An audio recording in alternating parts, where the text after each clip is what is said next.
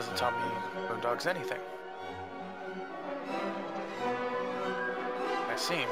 His tag's not above the not above his point.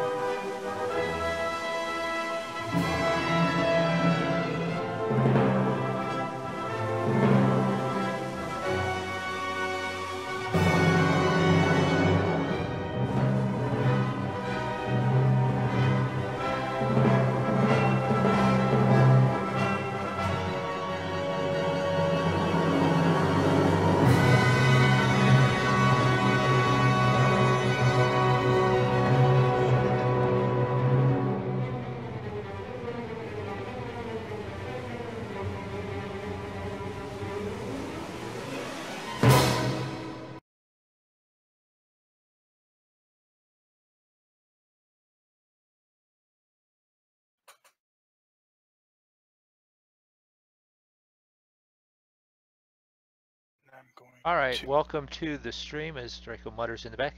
Uh, I am Mr. Moondog. We are flying our African tour of our world tour. Uh, we are in Benghazi. Uh, that is Drako right there in that big monstrous uh, C-47, or supposed to be the Boeing 377, but the closest I have as a model is that C-97. Very close, very similar. Two years difference. But aside from that, what did I just? I just bumped my OBS and gave you guys a dark screen there. Um, I'm all set here in Beechcraft King Air. We are flying from Benghazi to Cairo. Um, it's a little bit longer trip for the C-47s to make it. It'd be like a four and a half hour trip. And we decided with it being a weeknight, we will fly our little bit quicker planes, still staying with the props and get there at, uh, in a couple hours. It should be about two hours and 15 minute flight time. So depending on how quickly we get all started and to the runway, we'll be set. We're waiting for Zig. He's having a little bit of a technical issue, uh, but he should be popping in right there between the two of us because that's where he was at a moment ago. Um, Drako can speak whenever he wants now because I'm done with our intro. Um, but he's probably, you know, starting his at the moment. So, um, just to start off, I want to thank everyone for stopping in and over the last couple of streams. Uh, I do want to apologize. I watched my last couple videos and was surprised to find out I had no sound. So I am watching what's going on here and I see that I my meters are saying that I've got sound. So if there's any quality issues, please leave um, comments. Um, be sure to let me know and I will I don't want you guys watching a bad stream. I don't want you watching a bad video. And if you let me know, I'll see what I can do to correct it. Um, there are things in the work to finish getting me uh, the rest of the upgrade on my computer. And, you know, I want to put out what I would want to watch. So that's what we're after here. Okay, and we just came in on the end of Moondog's So ranting and raving. No. Moondog's entrance. So, Uh, how you doing today, Mr. Moondog? Today is not too bad. We're actually in a decent enough mood that this should be an easy flight, which means we're going to both, all all three of us are going to crash at least twice, um, maybe into each other. Who knows? I totally expect Moondog to become a smoldering hole at the end of the runway, Which run? and then I'll uh, whichever one they give you, Oh, okay. To take and off. I or land depends on land, how okay. things go. Okay. And I totally will probably land right on top of you. Probably. Okay, we could shoot for that. Um, I was mentioning that we're waiting for Zig. He's having technical difficulties. He should be popping back in between us as soon as he gets a computer restart and technical issues fixed. Um, told him it should be about a two-hour flight. And the reason we went with these is so that it would be a two-hour flight instead of a four-hour flight because it's really nothing between Benghazi and Cairo that warrants a large enough airport. Except for, well, sand. There's a lot of sand in between those two countries. and there's probably a couple sort of brush airports. And to be honest, I don't want to land at any more brush airports. Well, we all know how you feel about deserts and cactuses.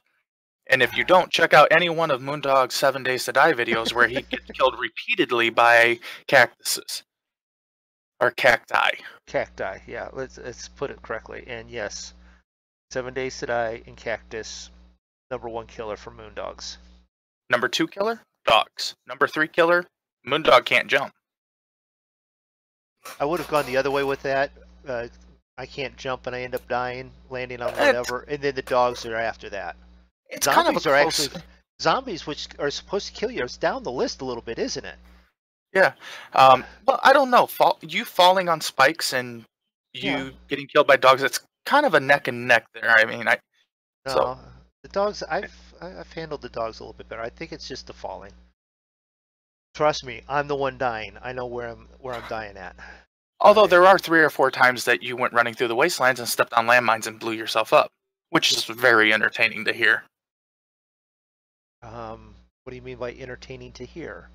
As in I'm Well- ranting and raving and going and stuff like that, or Yes. okay. Well, then in that case, I get that. Uh, I'm just checking payload here, fuel pay- that it's correct on the dash we, or on the dashboard when we get in there. Because if there's a dash anywhere, it should be in right Zig parked next to me. I'm gonna go inside here. And as always, when as soon as Zig gets in, it will never fail. There will be a dash eight following me.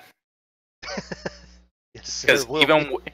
because even when Zig is not flying his dash eight, there still seems to be a dash eight either at the airport that I'm at or flying with me.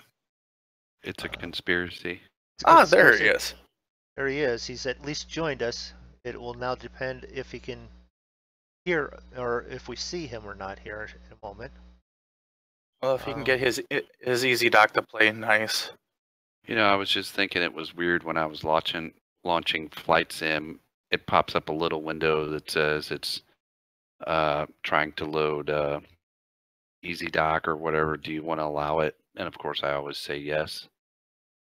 But after I click that, like while and the resolution's still jacked up. Well, that's an Um, easy thing to change just in your settings, correct? Uh, probably. Uh, that it, my antivirus popped up and said it quarantined the program. Wonder if it tried to quarantine your easy dock. That's what I'm wondering. So while we're waiting on Zig to finish up his uh, his stuff, we'll take a look here. For those of you who have never seen this plane before, this is the Boeing 377. Um, it was one of the very first pressurized commercial airliners in the United States. It was built in 1948. Was one of the first was one when one of the first planes of this model were built, and it flew till I believe the late late 50s or early 60s. Um, it was actually a lot of the instruments and a lot of the technology was taken taken from the B-29 Super Fortress. Um, what's cool about this is that even though it's a large plane, it has a lot of windows. It has 19 windows just on the front. So it gives you a lot of ability to see. And I think I hear Moondog starting up his plane. Yeah, because the batteries are already down underneath 20 percent, 20 volts, which if I don't get them started, I'm gonna have to do uh, a restart on the flight sim. You don't have an APU? Not on this one. I do. We're gonna go ahead and turn that on. Turn our If- if- master switch on. If I go into settings, it says it's at 1920. 10 Eh, I wonder if it's an easy dock issue.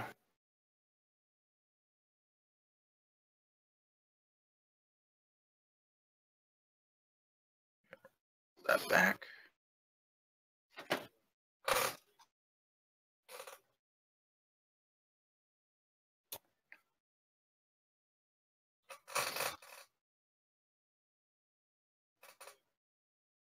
What do you know? I just did a start without any gauges up because I knew the correct procedure there. Now we can start. Uh, beacon. Uh, make sure the door's shut.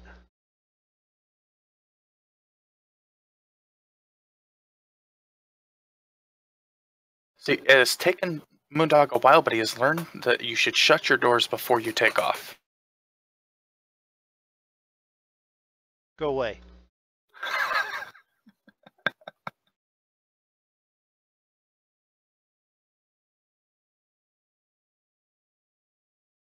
We're gonna go ahead open these up real quick. Hey Evan, how's it going? Welcome, to, welcome back to the stream. Hey, Evan. Yeah, yeah, Evan.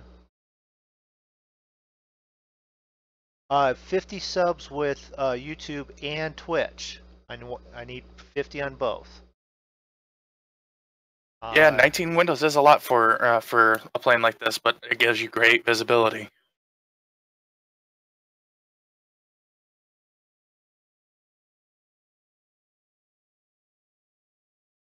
And we're gonna turn our engine selector to three.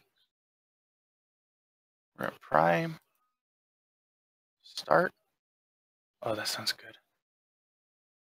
Switch over to magnetos to both.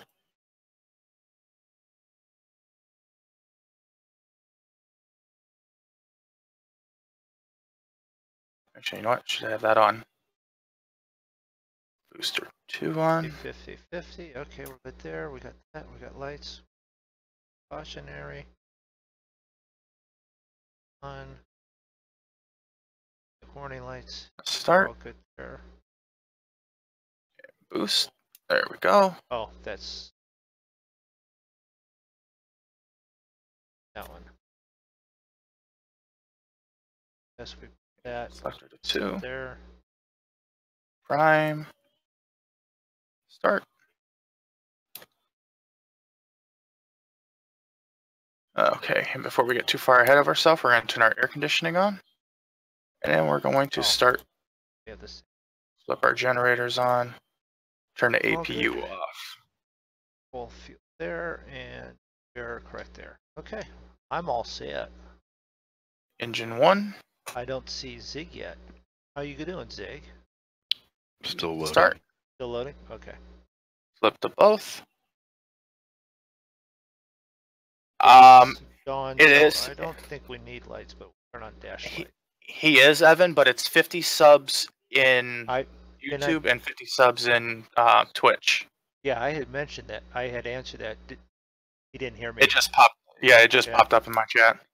Yeah, because he asked on mine. I, yeah. It, thank you for answering it. I had started to say it. Probably didn't hear me when you were talking. Didn't want to over up state that with you. Yes, 50 subs on Twitch and YouTube. That's what I stated in my one video. I'm going to hold to that, but it is definitely going to be 50 in both. Should be able to find me in both. It, I am Mr. Moondog88 on YouTube and Twitch. All right, that all looks good.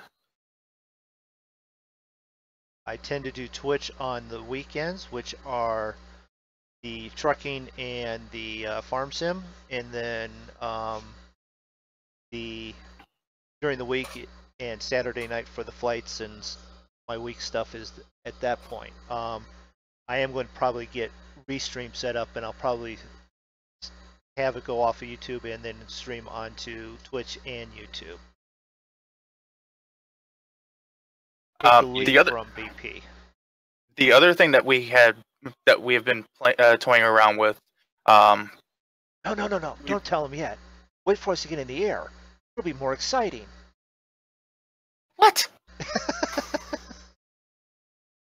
We've been toying around with the idea of possibly doing a multiplayer far, uh, farm sim, uh, where one of us is actually ho- uh, hosting a multiplayer uh, m- a multiplayer uh, map. Um, we've been thinking about possibly streaming that, but uh, we want to know from you guys: is it something you guys would want to see? Is it something you guys would want to see streamed, or are you guys more interested in Just the flights. just the flights because we like i said we play a lot of other games too we also do multiplayer ats and ets um, seven days to die pubg um, arma and uh, we will be doing those regardless, but, you know, but if you guys would like to see them we'll be more than happy to stream them right. So. Second, You guys can go ahead. It's it's not working, so don't wait. not working, he says. it sounds like your antivirus decided to beat up on easy doc Yeah.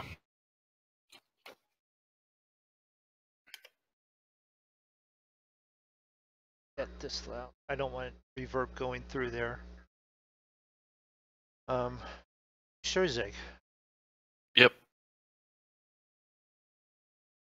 because I don't I don't have anywhere idea where to start with my issue. I it might be something like you have to uninstall it and reinstall EasyDock.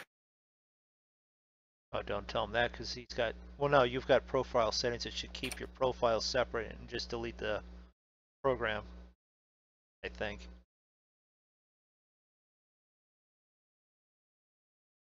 What they say they wanted me to go to. Uh, 15, right? Right.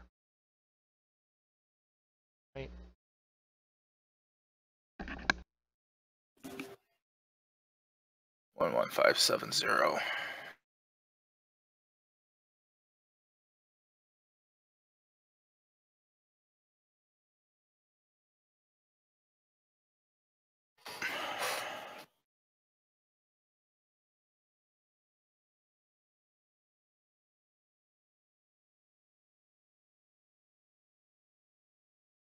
Check my flaps. Oh, sometimes computers can be such a pain. That they can.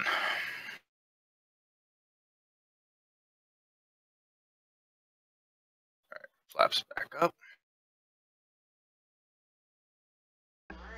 Uh, Evan, uh, I have 47 on YouTube and off the top of my head, 20, What's my heading for that? 25 or 092. 26 on Twitch at the moment.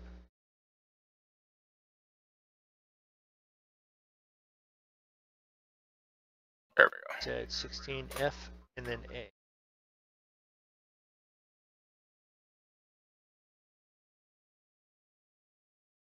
Uh, which way are you departing? I said east. Okay.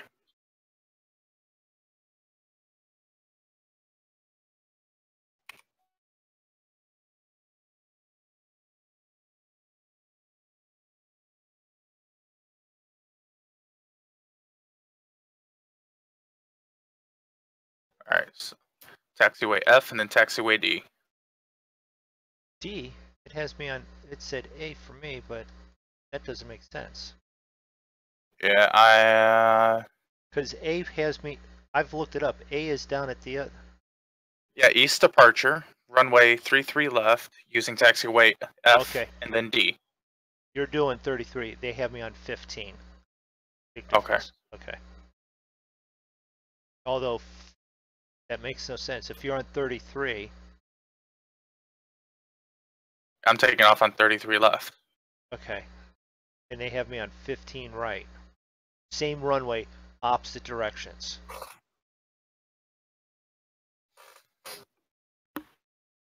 Hmm.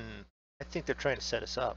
Did you accidentally click that you're going west instead of east? No. Because that would explain why they have you going one way and I'm going the other.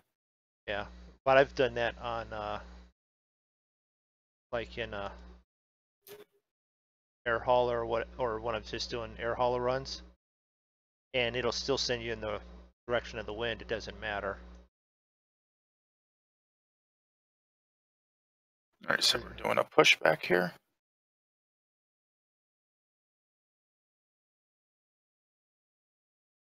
Bump my props down because 50% props is a whole lot easier to control this thing.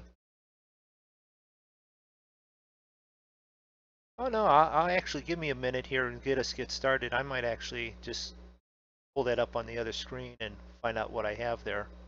Holy crap, I almost ran over a Piper Cherokee. Follow Drako there once he gets that thing spun around. Let's see here.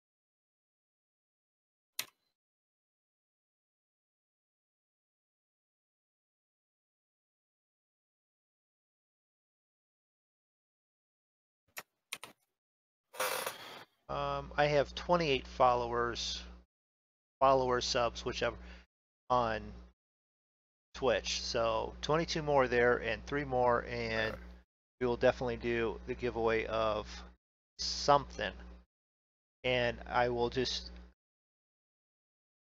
do a random drawing of those subs that I have that will put in once I have it. I haven't gotten everything in in plant place on how I want to do it, but probably have everyone make a comment that are interested in it and then pull a name from those that have done, done that. And if the name will be drawn, what's jumping to my head. See, I don't have a corn chip like Frito to just randomly pick a name. Well, if you had Nightbot, you could just use I- Nightbot. I could. Ask me if I want to go through the whole add a bot thing yet. Holy Do you want to go I through wonder the if whole that's right. Adabot thing yet? I'm not sure if I want to go through the whole add a bot thing. Yeah. I cannot believe how tight of a turn they wanted me to make on this taxiway.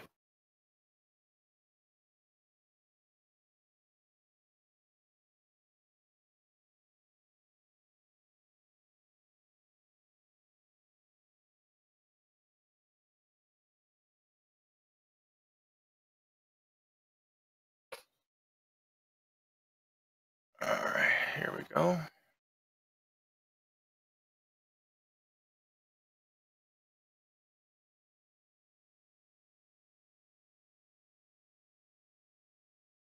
I'm thinking this runway is long enough for me to take off on because remember we landed the uh, we landed here with C-47s. It's long enough. I've been flying, well, very similar that plane around. You can handle it, Drako. I have faith in you. Those are famous last words. All right, I have faith that you'll do something interesting with that. Flip upside down and land on top of you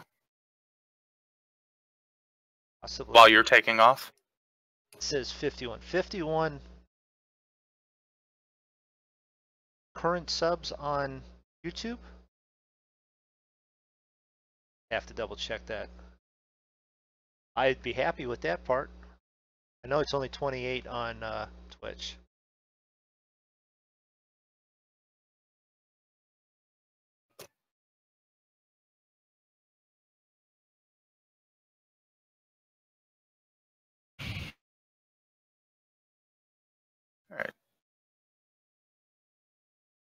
Okay, so the antivirus did block it. Do you want us to wait for you? No, because I don't know how to unquarantine.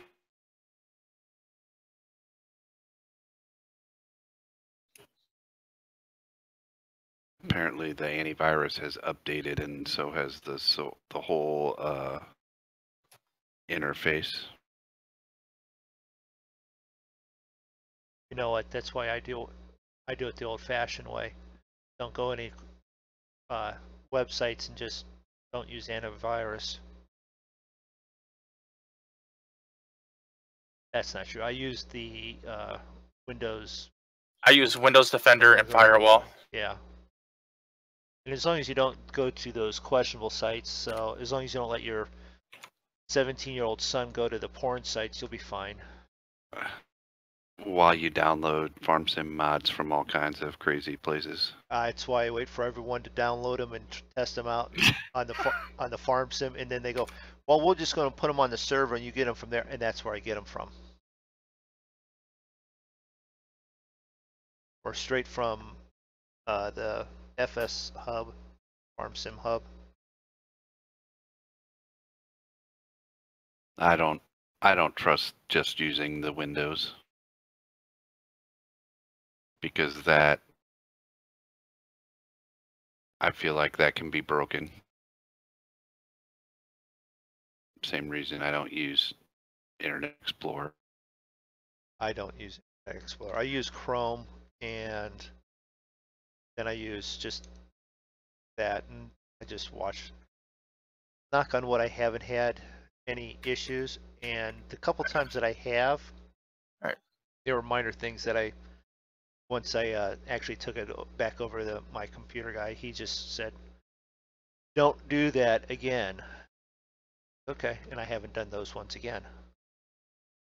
And he goes, The reason I don't trust the reason I don't trust the Windows is because that's built into everybody's computer. So if somebody finds a backdoor in that, and that's what you're using or a workaround, then everybody has that, and it, everybody's vulnerable. Which is, you know, for a long time that was the problem with Internet Explorer is that people were finding Backdoor entry. Okay, well that's fine. Are you on 33 I'm already taking off. Taken off? Yeah, I'm ro- I'm going down a runway right now. Oh well, thank you Gmail for telling me that G- that my Gmail account is out of sync on this computer, considering I never use it on this computer. See, we were supposed to take off on the same one. I'm sitting down here at the end waiting for you to clear. I'm sure. I'm already in the air. I see you. It says tra- mine's yelling at me about the traffic, which is you. Alright, and then when we're about a thousand feet or so up, we will go flaps up. 'Cause I am skyrocketing right now. Woo!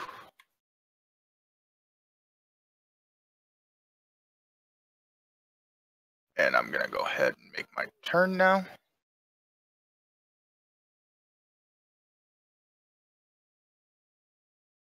This is a good time to turn those all on.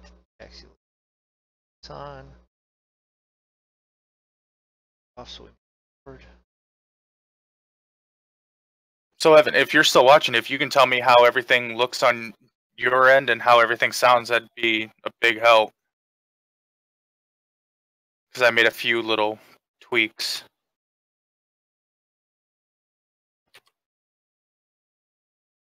Clear. Rolling down.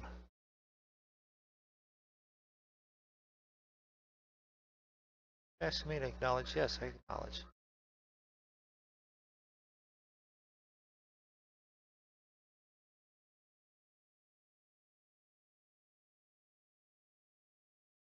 Alright. So, And we've almost made our turn. so on one of my air hauler flights the other night, Uh huh. I was flying that C-47.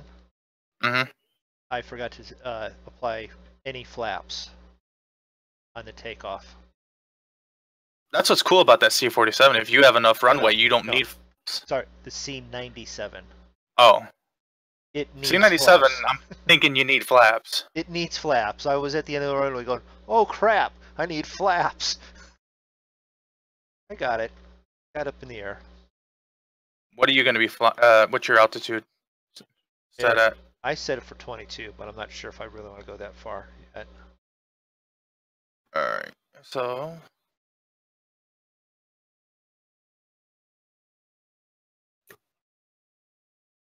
I need to turn that off. And I to turn that on.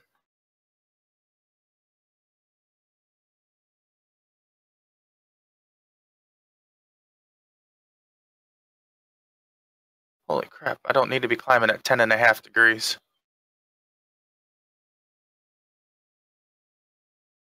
We're gonna take a look back here, see if we can see Moondog.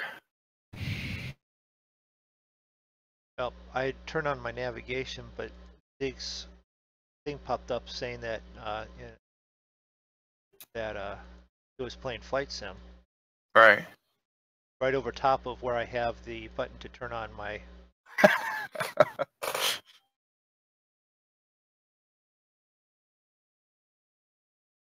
Zignav blocked him. Yeah, he did.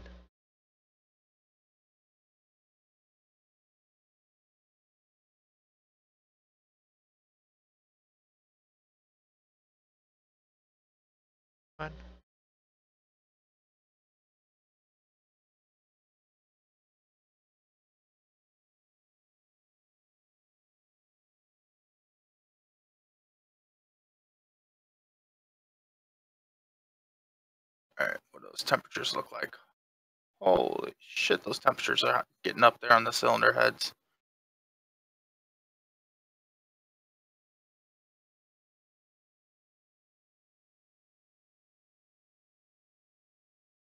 To pull back a little bit. There we go.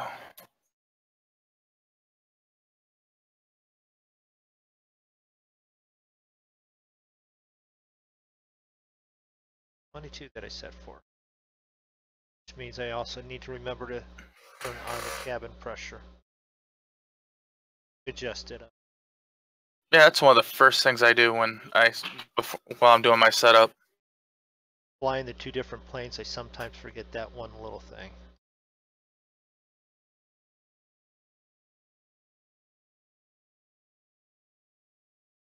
Whew. Go away. Yeah, those those uh, those cylinder head temperatures are really hot right now. 236 degrees Celsius.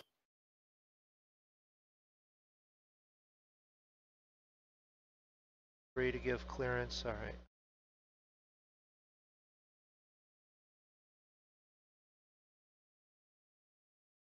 I know I can't be already 10 miles away from you. Yeah, you can, because I was flying in the wrong sort of, not the wrong direction, but he was going the wrong way. I was headed more south than west at the east at the moment.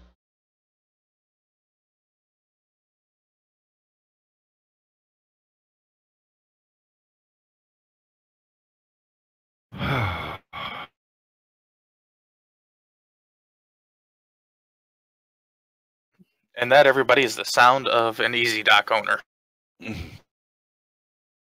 It's similar to the to the same sound that uh, Chase plane owners make. Chase plane. Yeah, it's another one of those uh, camera add-ons for Flight Sim. Okay. The only thing is that uh, Chase plane actually causes, at times, everything to crash. So I've seen it take FSX itself, air hauler, and a, and a live stream with it. Wah wah wah. Hey, it's the mysterious and wonderfully suspicious bipolar profit. God, are you going to get through that sentence? What's Yeah, up, I don't know. I'm trying to make it up as I went along. You you were doing just fine. How are you doing tonight, sir? Uh, I'm so bored that I thought I'd watch this boring as whale sh- stuff. Oh, All right. Gee, thanks for thanks for the great plug for our channels. you like that, huh? Make sure to watch everybody in a monkey show, everybody. Even when they do boring shit like this. No, I'm just kidding. What's going on, guys? Uh, just flying from Benghazi to Cairo. Yeah, you know you hoping, can't do that in real life, right? yeah, well, we're hoping Uh, we don't catch an RPG in the tail. Yeah, that's what I'm saying. Well, that's why Zig hasn't actually been able to take off yet, because Yes. he hasn't cleared customs yet. um, my plane has been sabotaged. Excuse me, I'm going to need to look in this suitcase. I don't know why there'd be Russians at Benghazi, but I'm just- I don't know. I think Ernie got pissed off about the goat and buried your plane. Looks good, Moondog. Did you get your graphics card settled out finally? Um, what I have is I just have the settings set well for what I have. Yeah, it looks good. It looks great. Looks great. Yeah. Yeah, it really does. Okay. This is the smoothest stream I've ever seen you have, and I've been there for most of them. So this one is this Yeah. is very nice. The only thing missing from this is my painted skin yet. Oh, I know, Moondog. I know. I know. I'm Everybody's. only- I'm just. I got just, you. just I got bringing you. it Well, up. you know, I know finally. you're- you're this is the. Duke, right? This is the Duke. This is the Beechcraft King Air. Oh, that's the Beechcraft. That's not the one that Roy gave us, right? Because I finally No. just installed that after Yeah. I don't know how long I've had it. Yeah, I, we, I've we've all got that. That's a nice plane. It Yeah, is. we got Now, I haven't flown it because props, but it is. You know, it's it's great. I did load it up and take a look at it. It's really it's really good. I mean, I may have to. Ch- are you guys doing air hauler stuff right now? Is that what you're doing? No, we're we're, just- just, doing a Just Flight. flying? Yeah, Just a flight. I may have to jump in with you guys someday. I, I keep saying that. You say it. You mean it. We don't think Yeah, that I- you're just bullshitting us. No, I know. I I, I want to do it. I do. And then I just- then what happens? Uh, Old Ridge. Uh, no, you know what I'm doing now? You know what I've been doing for the last two hours? Ast- uh, So, Ast- everybody- Astro. Knots. No, no, no. Because if that was the case, I wouldn't be here right now. I'd just be like trying to get Jim or friggin' Duke or whatever that last robot's name was to do things. Um, I got it. but no, I've been playing on. Um, I don't know how to pronounce it. It's it's Nagase Valley, I think it's called. What it's me what it stands for is not another Goldcrest edit. It's a Okay. huge like midwestern map, and I discovered these really cool uh, anhydrous ammonia tanks and a big toolbar applicator, and it cuts individual furrows. Right, so each knife is its own furrow. Now it, you get a frame rate. Well, I don't get a frame rate hit, but if you had like a low end computer, you get a frame rate hit. But I'm using seasons, and the first day of spring, it's snowing, and it's cool to watch it cut the little furrows in the snow. It's cool as hell. so I've been doing that for the last two hours, just going. So how is is that map pretty cool? Because we've actually been looking at doing a um a multiplayer map for when we do our live streams, so people don't get bored of just us flying. No, you're not allowed to. No, you, flying is your. Listen, you guys. What are you guys gonna? What is this? The Monkey Show two over here? You guys gonna branch off into your own thing? You guys hardly ever hang out with us. I mean, We if you're gonna out- play what do farms, Moondog hangs out with us. Drako and Zig I'm- never do. I'm busy all weekend. Ugh. It's a Well- scheduling issue as much as anything. You need to Yeah. stream between 10 I- midnight I stream every day. once a week. I stream every day at 2 p.m. yeah, I know. Oh, I know. I mean, I see it pop up on my phone. no, There's BP again trying to distract me from work. no. If you, I mean, obviously, if you guys want to, if you guys see, the thing is, I was kind of thinking about maybe because I don't know how long we've been on aggravation Moondog. How long we've been on that map now? Uh, Is it three weeks? Four. So it's a month. Yeah, we got to start Yeah. looking at more maps. I like this one. This one's really good. It's done very I well. mean, w- w- there was the ultimatum from the, you know, bipolar profit that we had to get the 30 some million back, but yeah, well, the way we spend money, I don't see that happening. I do want to cut all that grass though, so that'll be a couple. no, yeah, we want to cut the Well, grass, we want obviously- to bale it. If you guys want to do farm sim, do whatever you want. You know what I mean? Well, That's- I- like, like what? We're going to listen to you and not? No, No, we're, Well, I could just take you all off the Monkey Soul list. I'm just saying. No, that's cool, man. What, No. Whatever you want. No, of course we. w- To be honest, com- I compl- even told Frito. Uh, I hung out and watched Frito's stuff, and from that Yep. I met Roy and met you guys, Yep. and absolutely thanked him, thank him for branching me in this direction. Wonderful Sure. people I've met, and no, I wouldn't actually do anything to, to piss you guys off, and I don't think I want to even leave hanging out with the No. Monkey Show. Too No. much Oh, I- of a Listen. nice. I'd never Yeah, leave the monkey show. It isn't. Eh, it, it- it- we're not. You know. I mean, it's not an exclusive club. You guys are allowed to do whatever you want. Right, I've been right. anti. I've been antisocial for the last two days because I just can't be arsed to talk to anybody. And I finally felt t- like tonight. I'm like, oh, these guys are streaming. Let me go see what boring shit they're doing, and I'll eh. watch that for a minute. Every Tuesday night, 10 o'clock Eastern, and every Saturday You night, guys- 10 o'clock Eastern. You guys stream late too. See, I couldn't stream this late. Well, I mean, I could. I just wouldn't. I'd be. I mean, I'm fairly uninteresting on a good day. Never mind at ten o'clock at night.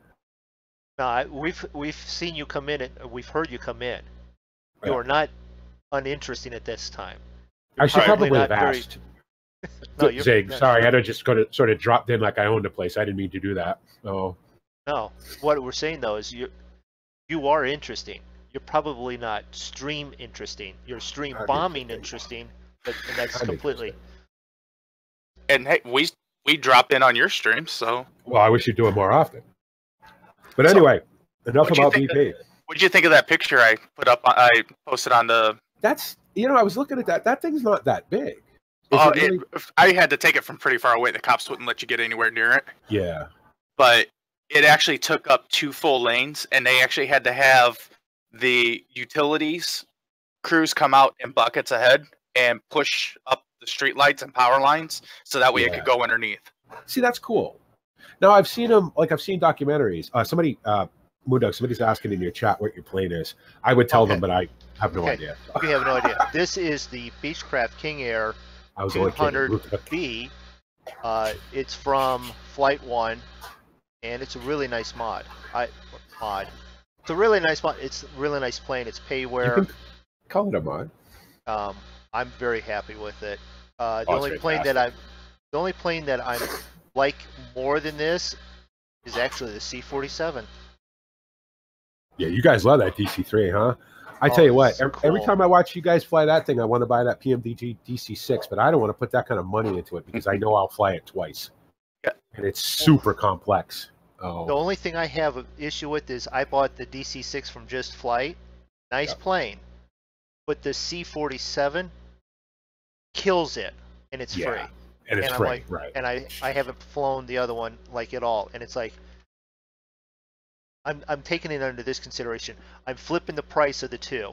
I'm I'm saying the D D6 is free, and the Yeah. C47 I should have paid what I did for the other one, so it's it ends up balancing out that way. Some there are some very good payware out there, and there's some really bad. I mean, there's some very good freeware out there, and there's some really bad payware. Right. So Yeah. I've had some awful, oh, just horrible play. The the uh, the black box uh, A320 when that first came out was horrible. It was so bad, and of course it was only like early access was like twenty bucks or whatever. I got a deal through BA to get it, and it was just awful. And I'm like, well, I won't fly that again because I have the Aerosoft A318, 19, and 20, which are fantastic. Maybe not study level in the sense of PMDG, but good nonetheless. But then they fixed it, and it got really good. And I wish that it kept it because now it's eighty dollars. so live and learn. Mo- Moondog got me interested in uh, flying that uh, 757 that Roy found. Is that the freemium one? Isn't that just Flight's freemium one? Yeah. You know what? For a free plane now, it's not as probably detailed as it could be, but I have flown that plane and it's good. Yeah, no, it's it's not. There's stuff that you should be able to do that you can't, but for free. but for free, it yeah, I did like it the other day. I I just qualified in it in air hauler. Yeah. And that it was a nice flight. It's it, it It's flies quick. good. It's quick. It quick. looks good. Oh, sure, it's quick. Of course, it's quick. That's what it's designed to be. Is quick. I no, I took off from Akron Canton. And it's like okay, turn to this heading, turn to that heading, turn to this head, and I was over Lake Erie. I'm like, Right. this is an hour and a half drive almost, and I'm there in like ten minutes. Like, Well, you guys are used to flying these 240 knot prop planes. You get in a jet, you know, you're wait till you fly a real jet. I I am consistently at 600 plus knots. You know what I mean? I don't have time to screw around. Oh, that's why you don't fly a, a 757 or a 747 or even a 737 for a 20 minute flight. You know what I mean? Because by the time you get up, you're coming back down again. Yeah. And it it was it was nice because it what was it was a 400 knot before it was over speeding, but if, it flew Sure. at 380 like it was nothing. I had to back off. I'm like, nice, And the and the higher you fly, the faster you can go. right? So up to a ceiling. I don't know what the ceiling on a 747 is. Like on the seven, I mean on the 757. The 747 is about 41,000 feet. I like to get up there, but it's hard over Europe. It's hard to get that high in Europe. You can rarely ever get that because of the damn Okay. military. But Well, you- you know, and and it's nothing against like tube liners and stuff like that because I, you know, there's some I really you know am am interested in flying, but you know, like the prop planes, they have they just seem to have a little bit more character. sure.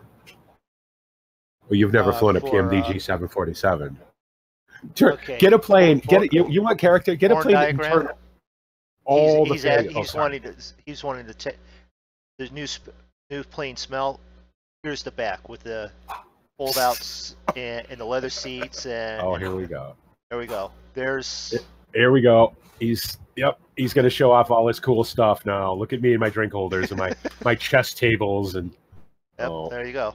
There's the whole th- where's the hot? Where's the hot? I almost said stewardess. Whoops. How long you been flying for BA? BP. Where's the hot cabin crew? that that's on the C47. That's Does Nancy. this one- Does this have the? Does this have the? Is this the one with the lights that you can turn on from back there? From the? Yeah. Oh no, you can't walk Yeah. around it. You, No, you, you can't can. walk around, but you can sit back there. You can turn the light on, like your Yeah. individual light, yeah, yeah, yeah. but you can uh no, you can't walk back there and stuff. Well, I is that like- you down there for like fifteen thousand? He is Uh, at yeah, at fifteen thousand. Yep. 15 and climbing. Actually, well, Yeah. he's just coming to 15 now. Did you say you were going to do something at a certain sub? Because uh, Mr. Evan Iverson here has been Yeah. asking you about your sub count, which is at 51, by the way. Congratulations. Is it 51? Because I 51. I turned it on. It was 47. 51 is good. I said 50 and 50. 50 here and 50 on Twitch. Free giveaway. Oh, And cool. And What are we giving away? I don't know yet. It'll be a game. it will be a game. It will not be shower with dad. Um, Oh, come on. Well, now there's a new simulator. It's uh, it's No, Big don't- Daddy Simulator. Please let's not talk about that because that is just uncomfortable. it, it there is are uncomfortable. there are but I- limits to what I will play, and that one would- made me oogie. I was like, no, I'm good. I'm good with that. you were the Oh. one that brought it up, though. So, but it Yeah, will well, I thought be it was the- the- I thought it was a DLC for Shower with Your Dad Simulator. Turns out it's a whole different game. No. So no, it will be probably in the fifteen dollar range. Cool. I don't Yeah. know which yet. Um, Absolutely. I And now would be a good segue for me to. No, I'm sorry, not my stream. not going to do that. not your stream. Don't do that. But I will mention that uh, the farm, uh, the BPG communities farming Olympics is coming up, and if you want any information, check out BP's page, or we could just let him speak now. So, because he mentioned it, now I have to mention it. Bipolar Profit Gaming and the Monkey Show are proud to present the Farming Simulator Olympics, uh, first ever and annual Farming Sim Olympics, uh, a fun and competitive skills challenge where you get to test your skills uh, and showcase your skills in Farm Sim, and hopefully win a cool prize. Going to be giving away uh, some Farm Sim stuff, um, and all the information for that is on my channel. You can check me out by clicking on my name in the chat, uh, and that's all I want to say about that because I don't want to hijack everybody's stream. So. But these guys are all part of the Monkey Show. So, and I expect to see all of you there. Block off that time, August 20th. I will be there. Well, I know you'll be there, Moondog, because you're going to win the backing up challenge. But I, I have to now. You've built it up. That if I don't, What's- I'm in what's trouble. the what's the master alarm there, Moondog? What are you doing? I, I was playing around with the uh, throttles too much there. Oh, did you turn it? Did you put your prop conditioners all the way to off to fuel cutoff? I've done that so many times in the Crash Eight. Well, oh, and you can't turn them back on again. You've done it, right, Zig? You've done it. I know Yeah. you have. Yeah. So no, I, I hit the uh, auto uh, to adjust the mix. Yeah. And it set it all the way down, and I'm like, no, no, no, no. And because I have the auto uh, restart switched on, so like oh, so if it's yeah, it'll turn itself back on again. it'll keep it'll keep it running. So that's why I did that, and that's what the alarm was. I actually knew what the alarm was. Good job. Good job. Uh, Yeah, this well, is really good. This The is- sub count was 47 when I checked it earlier, so I got in three. yep. That's, Congratulations. that's bipolar profit. He's here. Yeah. Uh, we we leased him for the night. It's going to cost us six thousand dollars to keep him for much longer, so we're going to have to kick him out at some point. Evan must have subbed with his. Evan must have subbed with his other three accounts. He might have. I, I know BP has two, bipolar Yeah, no, one and He's your ver- he's your version of Farmer Dad. Yeah. No, yeah, right. He's on he's on multiple screens. You should always have that guy. There's nothing wrong with having your own personal farmer dad, who I miss very much, and so does everybody else. Because I've noticed that the amount of people that hang out in the Discord has has just dwindled down to nothing since he's been on vacation. When he comes back, I'm gonna be like, "You're never allowed to leave again." Well, no, Oh. it's not been that. I've been dealing with my work in uh, pay hit stuff. I've got that sort of under control. I've got work Sure. coming in. Yeah. So I've my couple of days have been longer. So I've come in and I've quite literally said hi to Roy and Frito, harassed Frito, and then left. So Yeah, Frito's been around quite a bit. It's cool. It's good to see him back again. You know. Yeah, had we've been having like an old time reunion because you guys probably won't know this, but you know, Jim, James R.W. Powell, my good friend, and then, Yeah. um, you know, Yoda, the guy who got me into Farm Sim 15, who bought I- me it, you know, Hitman Uh, was in your stream the other day. Hitman was in my stream. Yep. And Fadman tweeted me uh, out and I haven't talked to him in like three years. It's like an old, it's like an old YouTubers reunion, which is really cool. I, I, I, I'm really, that's awesome. These guys, you know, uh, these are the guys I come up with. So it's great to see them. It's great to talk to them again. Oh, um, but yeah. So can I get a? Can you, can you show me a route? A route, Moondog, so I have an idea. Um, no, live? no. no. Yeah, uh, yeah. Give me a second here. So when uh, when did Jim pop into your stream? Uh, pop into Discord? Uh, he's been well. He was on yesterday, but he's he's got a cold, so he didn't want to talk. He's very particular about his voice. Being an audio guy, you know, it's his thing. Right. Uh, but he's been in the stream for the last couple of days, so. You have 12 accounts. Well, if you're going to subscribe to me, Evan, could you just use one of them, please? Oh, So Um, well that ex- that explains it. Half of my half of my subs are Evan. yeah. Yeah. So obviously you're going up North Africa. Very good. Yeah. Yeah, we're we're uh, it should be popping up here in just a second Yep. there. I see it. Very nice. That's a good route. Right, right along, right along the coast. Very nice. Well, if you plop that, if you put that in the flight planner, it wants to send you from there over to Greece, through Turkey, back down Yeah. and around. Yeah. Because that's probably the correct way of doing it. And we said, nope, we removed all the VORs and I made the plan myself. Well, I'm Wait. sure we're flying through like a giant no-fly zone or something. Yeah, there's a bit of that. If you're using real world navigation, like if you go to SimBrief, are you, do you guys use SimBrief? If you don't, you should be. SimBrief is fantastic and it's No. free. Um, if you for for routes, for like and, and you can i mean you can get real world routes you can make up your own routes it's it's awesome. It'll give you a whole pdf file of all the information your fuel your weights your balances you know your, your passenger count your route your vors your weather real world weather. Um, it works with active sky and active sky next and active sky 2016 it is great and it's free. All you gotta do is sign up. and that and and it, this stream is in no way brought to you by the makers of SimBrief, but I use it. Con- well, it's it's built into BA. That's who we use to, to generate our uh, our routes from. So it's fantastic. So, uh, so you can generate a route and then put it in the Flight Sim, and it'll. Yep, yep. You can download it as uh, multiple different formats, whether it be a flight sim flight plan, whether it be for an Aerosoft plane, a PMDG plane, a PDF. That, so you could just print it out and put it in yourself. It's it's awesome. Just search SimBrief. Um, sign up. It's great. I've been using it for years and years, and it just keeps getting better. But yeah, there's a lot of no-fly stuff up here, so that's probably why they brought you out over Greece and over into Turkey. Uh, right. Because I know when I fly, when I fly to Johannesburg, I have to go out over the ocean. I can't just go straight down the middle of Africa.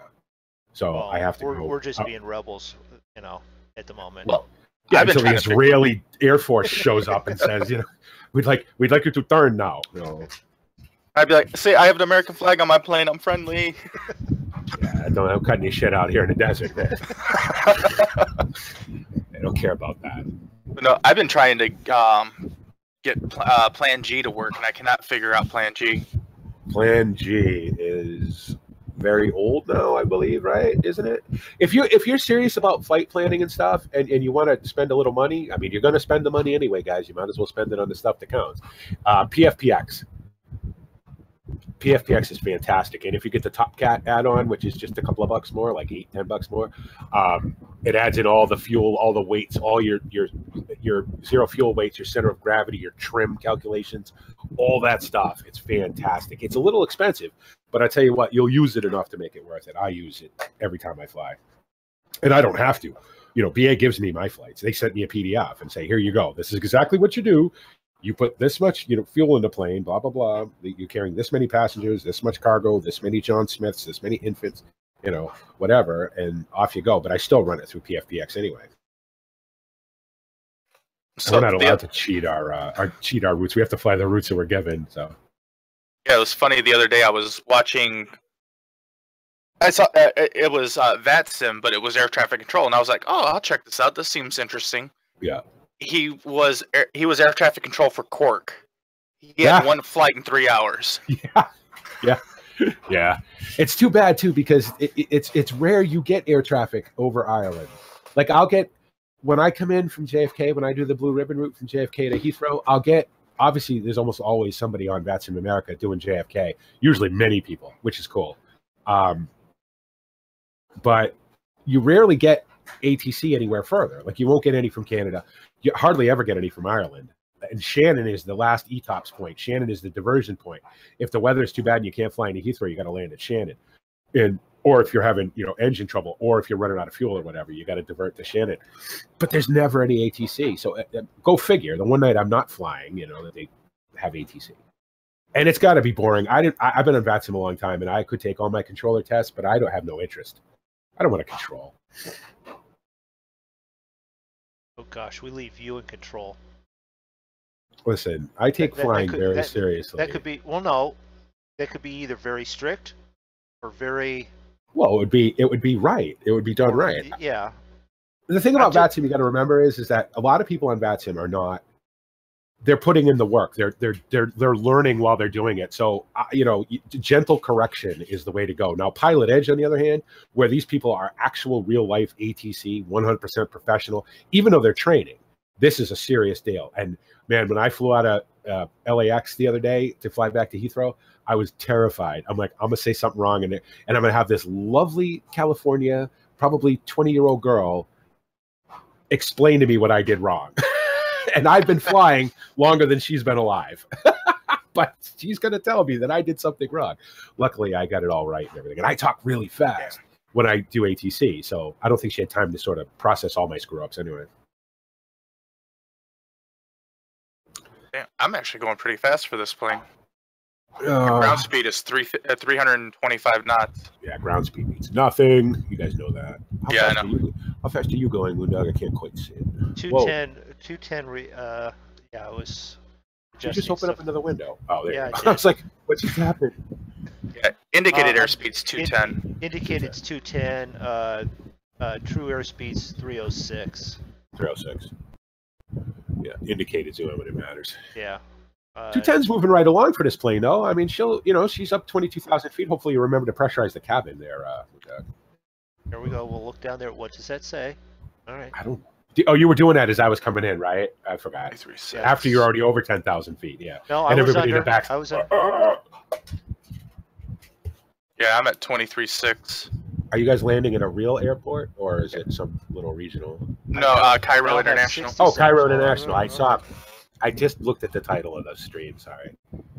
I think he has 60. Listen, do do do us a favor though. We appreciate the subs, but we'd rather have you know if you want Yeah. to sub once, Yeah. not no, a I whole bunch of times to all of us. I, I'm not going to do the whole. Uh, I've got 50,000 subs in three days. I'm the best. At, Oh, you're gonna say it out loud. Okay. I, I, I'm, I'm the best uh, flight sim. Uh, no, I'm not going to even go there. So No, fastest growing flight sim YouTuber in the world. You No, notice no. uh, uh, our homie hasn't been around for the last couple of like. no, that's fine. Well, you got You know trouble. why? You, You, you don't. You don't. you don't mess don't with say the monkey show. You don't say something that you're going to regret. And I'm Sure. not. Even if I did start to grow like that, I wouldn't say anything other than go, "Thank you very much. I appreciate Thank it. I, I, it's wonderful." Exactly. And you do this because it's fun. The minute it stops being fun, stop doing it. If you do it for any other reason, you're doing it for the wrong reasons. So I'm enjoying it, but what I found out was I was I plopped into a video while I was just doing something else of mine, and I was trying to stomach my own voice, and then I found out my voice isn't on that stream. You're trying to stomach my voice. No, your voice is fine. I'm trying to stomach. Mine wasn't on there. Why? Because I had screwed up OBS and it wasn't recording it. So that You was know- the first thing I did before I started. you guys have been doing this long enough now that you should be able to stand the sound of your own voice. Damn. I can. I still cannot stand the sound of my own voice. See, I think Zig's got that. Zig's got that just sort of, just barely a little bit of twang going on, smooth and silky. I think Zig should talk more. He should, but he's trying to get his flight sim going. Yeah, my shit's broke. Sorry. it's broke. There you go. Wow. You know, you know something's up when Zig swears. Like I, I Zig just took off his collar and said, "All right, I'm going to stop being a preacher for a minute because I got to swear." my my antivirus thinks my EZdok camera is Yep. malware all of a sudden. Yep. Yep. You got to turn. Yep. It happens to me every time too. All my add-ons, EZdok. Play, oh, Chase Plane is even worse. Jesus. Because Chase That's what Plane is Drako all, was just saying a little Jake- bit ago. Chase Plane is all XML. So of course your antivirus is like, oh, we can't have that. I'm like, you're killing me here. And every time BA connects, like I, I sometimes I forget to turn my antivirus off, and every time BA connects with their telemetry to make sure I'm actually, you know, physically at the computer, sometimes it'll kick me out though. And I'm like, shit, no, no, no, no, no, no, no, no. Now I get two hours of explaining why I didn't finish this flight. God damn it. I think Drako sounds pretty good. You know, I mean, he doesn't have the suave radio voice that I have. It's weird that it just mysteriously started happening tonight. I don't know if the antivirus updated or something. Yeah, maybe. The, the whole interface is new, so it's updated at some point. Yeah. Well, you might have to go through the settings and whitelist every like it's it- like you don't necessarily want to whitelist XMLs because they could be malware. Right. But since all the games we play bas- basically run on XML, I can't even run Farm Sim with my virus. on. Oh, really? Yeah, it won't even load. But this is the first time I've ever had a problem with that. but Ziggs didn't just say, "Hey, there's an issue." It, It quarantined, quarantined it. completely isolated it from the rest of the computer. Wow. So it's Yeah. not letting the EZdok load up. Load and, up. Right. And I got used to it now, so it's a Oh, it's it sucks to fly without it. Like I'm just getting used to I'm just getting used to Chase Plane. And Chase Plane is very, very good. But I'm still not hundred percent used to it yet. I still I like I remember all the things like how to change views in EZdok and I still have to hunt for the stuff in Chase Plane, but Well, Chase Plane's still in beta, isn't it, or did it move to alpha? oh I have no idea. Thank you, uh, Evan. These guys are these guys are amazing. E- Evan thinks your your voice sounds the best, so I would, you know, once you have that operation, you'll be just fine. Uh, just call him the Mo Drako when he mentions it. He mentioned that once, and it now it's a constant thing. Just call him the Mo. You know, welcome to the welcome to, to the Mo's the Mo Flies African tour from Benghazi to Cairo. So, Oh, on a side note, by. While I think about it, uh, Orbx is on sale, fifty percent off. Good See? because I actually got I actually got told you. paid some of my actual pay that I was required to get. So cool. Can I have some? just kidding. just kidding. no, I know, but I, f- I feel like I'm so happy that I got something that I'm passing it out to individual people. So Maybe you should, you know, do do like I don't know, buy food with it. no, maybe that's what I did. That's quite literally. I got I got paid, and I'm like, first thing I did was actually go up to my dad's with putting gas in my vehicle so I could get there, so he could give me some more food money to come back. And yeah, so I'm quite literally at that point. But I've got jobs lined up through the end of next week, and then once our stream's done, I actually want to, uh, in the next day or two, catch with Zig because he's the actual kitchen and bath design type person. Right. Got the lady that's I'm doing the work for, which is actually the daughter of the computer store guy. She's like, she hates her kitchen. I want to blow this wall out and move the kitchen out three feet. And I'm like, well, there's an issue with that. What? There's no foundation there. Well, do you need that? Well, Minor mean- details. you know, well, yes. generally don't float by themselves. Sometimes, you know, if you get uh-huh. lucky, I guess you could take a chance. Well, I mean, if it's seven days to die, you, you right. can yeah. get that, or Minecraft, then that'll be fine. But You can Yeah, just build out into space. And I'm trying to explain. Well, no, it'll be fine for about three weeks, and then once it starts to settle, and you get cracks in the walls, and then you call and bitch complain that there's cracks in the walls, then you'll go, "Why? There's a foundation needed." And then I'm like, on top of it, that project a little bit bigger than what Moondog can do. So, um, just grab like eight, ten cinder blocks, stack it out there, and and then just build on top of that. It'll be fine. I mean, what's the worst that could happen? No, you don't understand. She actually spent money for this bathroom that they're doing, and Zig's gonna laugh his head off here in a second. The guy that did the tile work put the floor in the shower stall perfectly flat. Oh, that works awesome. Whoops. Right. There, she's got puddles because it won't drain, and the guy brought her a squeegee to clean her floor. so it's so instead of making instead of making her a bathtub floor, he or a shower floor, he made her a pool.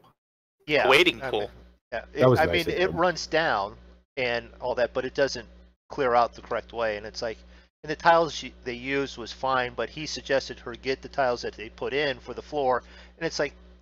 Those tiles aren't going to really work the best on the floor because they're not. You're not going to get the slope down like you wanted in the pattern that he did. So it's like, So you guys are now now it's starting to get very esoteric, and I don't BP not much of a craftsman, don't really understand. yeah, well, that's Oh. fine. But Zig's going. I- I oh, bought- Wa- oh, wa- water runs downhill. Well, I Water get that. Zach, thanks. thanks, Zach, for pointing that out to me. Yes, I know that. You know why I know that? Because I'm below my septic tank, and when my septic tank was clogged up, and all my sh- and all the and luckily it was my own shit that came flying Right. out of the drain and into my washing machine. Yeah, water definitely flows. No, Well, at But- least at least you learned that, right? I'm I will be right back, gentlemen. I'm not much of a I'm not much of a craftsman. Oh, if you took a look at the house, you'd be able to tell that. Um, my thing is cheap and make sure it doesn't fall down. That's really all I'm concerned about.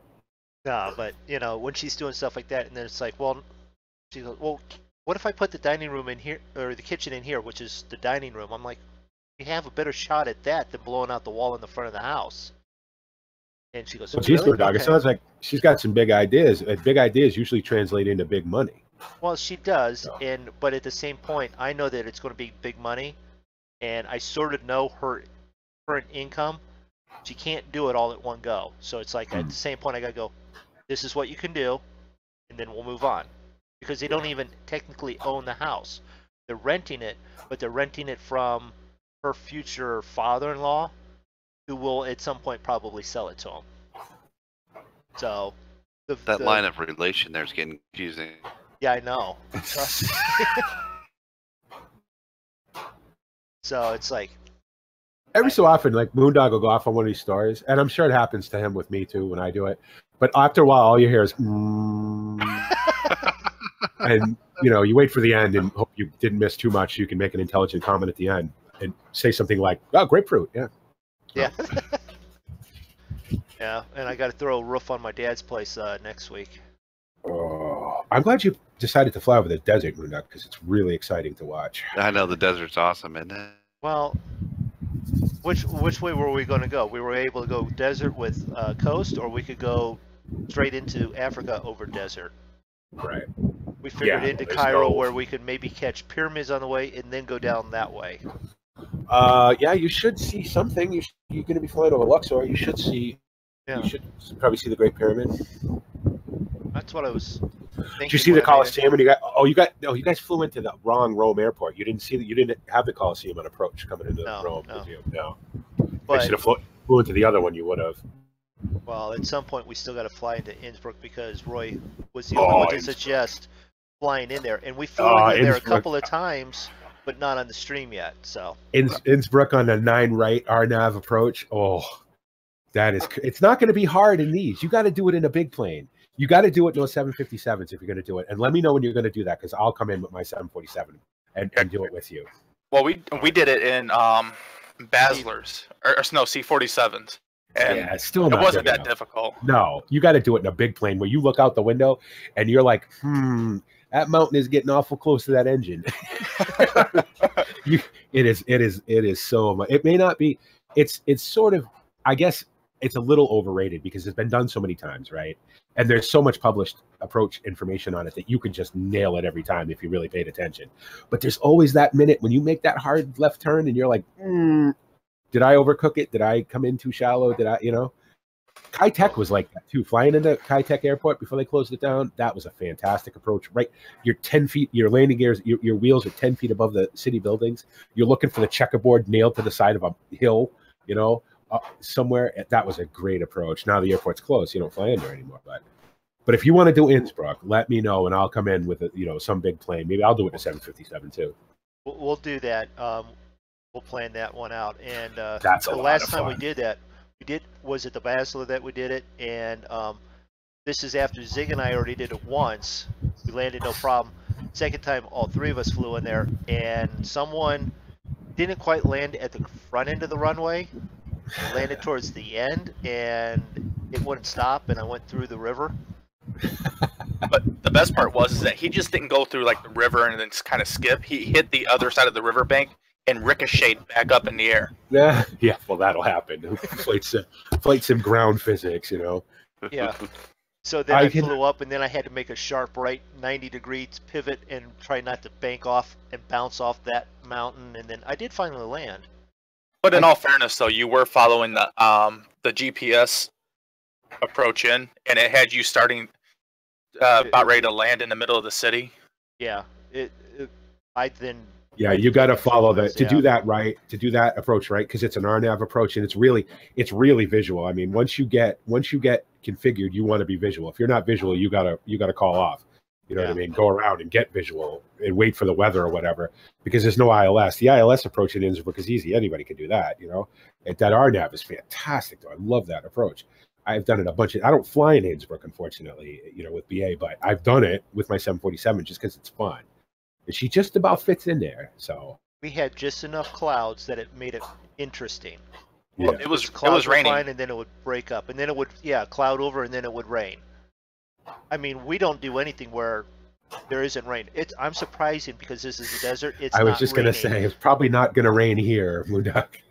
No, no, For there's going to be a most- freak storm will come off the Med- Mediterranean any minute, and Well, well, virtually every single flight we've done since we started off in um, Spirit of St. Louis, we've run into storms. Yeah. we ran into storms at Akron, Canton. We ran into storms at Boston. Well, it's gonna We- if it's if it's storming if you're running real weather and it's storming somewhere in the world and you're flying there, well, it's you're gonna get that weather. Right. right. So, Well, Right. what was funny though is when we landed, was it Rotterdam? We land, we landed in. ah, it's always fucking raining. Either Yeah. Ex- Amsterdam Schiphol. I've never been in there once when it wasn't raining. Well, the funny thing was is that Moondog and Zig had never landed um, IFR. Yeah. I, I have only done it a couple of times, so I was somewhat familiar with it. And watching us three monkeys trying to land IFR. Are you, In- you do you mean ILS? Coming in on the ILS? No, we had to file an IFR because uh, VFR you could only fly in IFR. They wouldn't allow you to fly in right. uh, there's Too VFR. many, too many clouds. You and then you had to uh, come in with ILS and all that. It was entertaining to say the least. You'd be the only people I've ever seen have a hard time flying ILS. No, I've, ILS I've, is the boringest thing. I mean, I do it obviously, but it's because you can't really. I mean, I've gone visual in the 747. I usually take off. I usually take over at about a thousand feet because after 12, 13 hours in the chair, that's about as that's about as much as I want. You know, I, the 747 will happily land itself.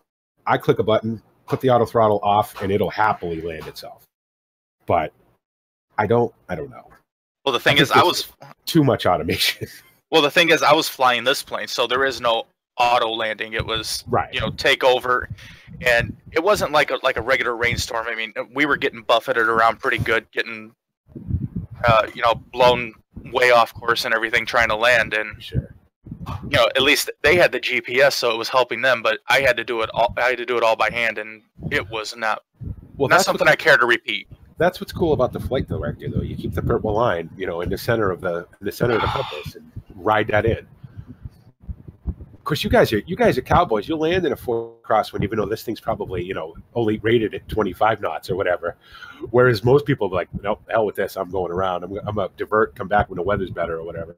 oh yeah we're rebels You guys are like, nope, gonna land it no matter what. Oh, like you're carrying human organs or some shit. You know what I mean? well, more than once i've heard zig say i'm landing wherever the hell i want the hell with what air traffic control says Zig's been known to land at the wrong the wrong, wrong airport no, before. that, that's no that was me That's Drako. Oh, that was you that landed at the wrong airport. Right. zig's been known to land on the taxiway and in the grass Me yeah, too. that's yep. That Me happens. Not in a while, but it has happened. Me too. In the Cessna, I put it right down in the grass, close enough. Cessna Close enough. can land in the grass. but i was i was proud of zig though he did do a belly landing and did not cartwheel it Forget to put your gear down. That was a joke for a while. I, when I first started, I I had a problem remembering to do that. See, that's why they have checklists, boys. That's why you have a before before landing checklist to make sure all your shit's set right. Well, see that that's the cool thing with that C47. It has a checklist and it'll do the callouts.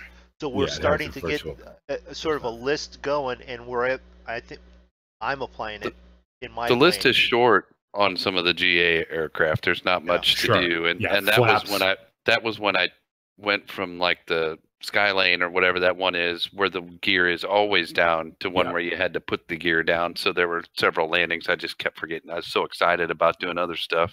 right. Yeah, Yeah, it was Zig and new. You know, he had never flown before. I told him, you know, I would fly the Skyhawk first because The- it's the slow. Skyhawk. It's huh? Oh, that I called it a Skylane, but it was a Skyhawk. Sky, Yeah, yeah, the I told him- the 172. yeah, because it's slow, it's stable, and you know, it's easy to fly. Stable my ass. I've never had an issue with it. I hate that plane. Drako, it's we're better pilots than BP. Just put it out there because we It's- watched. I watched them land. No, it's too slow. How do you land a plane at walking fucking pace? There's not enough air going over the wings to keep it aloft. I mean, I'm coming in with the Cessna at like 60 knots. I'm thinking 60 knots. Jesus Christ, I taxi faster than this. I'm Well, like, the, what the hell? I can't. the plane only weighs like 500 pounds. I know, I know. But see, you got to realize it's been God 15 years since I flew in any GA stuff. You know what I mean? I literally I started at BA, and I flew. Well, I flew the Twin Otter, a, a horrible payware, uh, freeware version of the Twin Otter, from um, London City to like Jersey, the you know the Isle of Jersey, uh, like four times a week or whatever, getting my regional uh, certification, and then moving up. Whoa, that is a. I, I, I mean, I get it with this plane, but God, it's so ugly. I jumped over to your plane there on my stream. It's the Oh, my plane. Yeah. Well, it's the C97 with the Right. uh, fuel drop on it. It's With the the closest one we can get for his plane that's sort of freeware. It, it at least gives a visual that's close instead of saying a 747 or yeah, A glider. a a glider. glider, right? Yeah. Yeah, yeah. I mean, basically, the the KC-97 and the C-97 are just the military versions of this plane. Right. Well, the KC is the tanker. Right. Yeah. Yep. There's a lot of them still cruising around too. I think over my house every day. I only live about twenty. No, not even. As they the way they fly, probably twelve miles from Westover Air Force Base, uh, which is the second biggest Air Force base in New England. So that's where they I don't know. I guess the the Stratocruiser is just an acquired taste. I think it's a really beautiful plane, but you know, other people think it's just ugly looking. But it's all in what you like. You know what I mean? Yeah. And, and that's the cool thing about it, it- any of these things. You know what I mean? Tractors, trucks, whatever. You know what I mean? I had a whole discussion on my stream today about Scania T's. Oh, well, Scania T's are ugly. No, they're not. I mean, you may think they're ugly, but I don't. I think they're great. They're my favorite truck. So you know, you get to you get to have your opinion about what you like and what you Right. don't like. You know? And I will Like- voice right now. I prefer the Scania T over the flat nose Scanias and d- DAFs and all that. But Well, I, Have that's you just because seen I'm the new used to. have, have you seen the the next gen Scanias, the R's and the Streamlines? Oh, No. they're pretty sexy. I gotta say. But then again, I like driving the flat Freightliner cab over Yeah. ATS. So it's quite literally, yeah, Yeah, it's a. It's funny. I do the same thing. I have a Scania T with a nose in Euro in Euro truck and an American truck. And right now I'm driving a, uh Kenworth uh, K200, which is a, a cab over. over. over. so yeah, I'm checking. I'm checking out your plane right now, Moondog. For some reason, you got a lot of right rudder going. Do I? yeah, Uh, not no. according not not according to his HSI. His HSI says he's level. Yeah, I'm just going by what I'm just going by what I'm seeing. It's showing a lot of right rudder. Yeah, and you were sort of pointed nose down. It flights FS Well, join is a whole lot better than FS Cloud. Well, no, I am pointed down a little bit. My because I have an autopilot on, it has me pointed at uh negative 2.1 degrees. But that's Yes. because of how I'm loaded. On Moondog's stream, it's his rudder straight. Oh, his rudder's level. Right back. Yeah. Yep. No, I, I'm at 60 viewers in, or s- s- subs in, on uh, there, and if they're duplicates, I'd like them to be removed. I'd like it to be honest. But I appreciate the thought. I'm gonna, Check. I'm gonna do a restart here. I'll be back. All right. Okay. Well, it's like we lost all the conversation there. I'm at 22,000 feet. We're, you're just ahead of me a bit, and I'm doing 210. So you're Um, just I'm at 210. I'm at 210, but I'm at 23.6.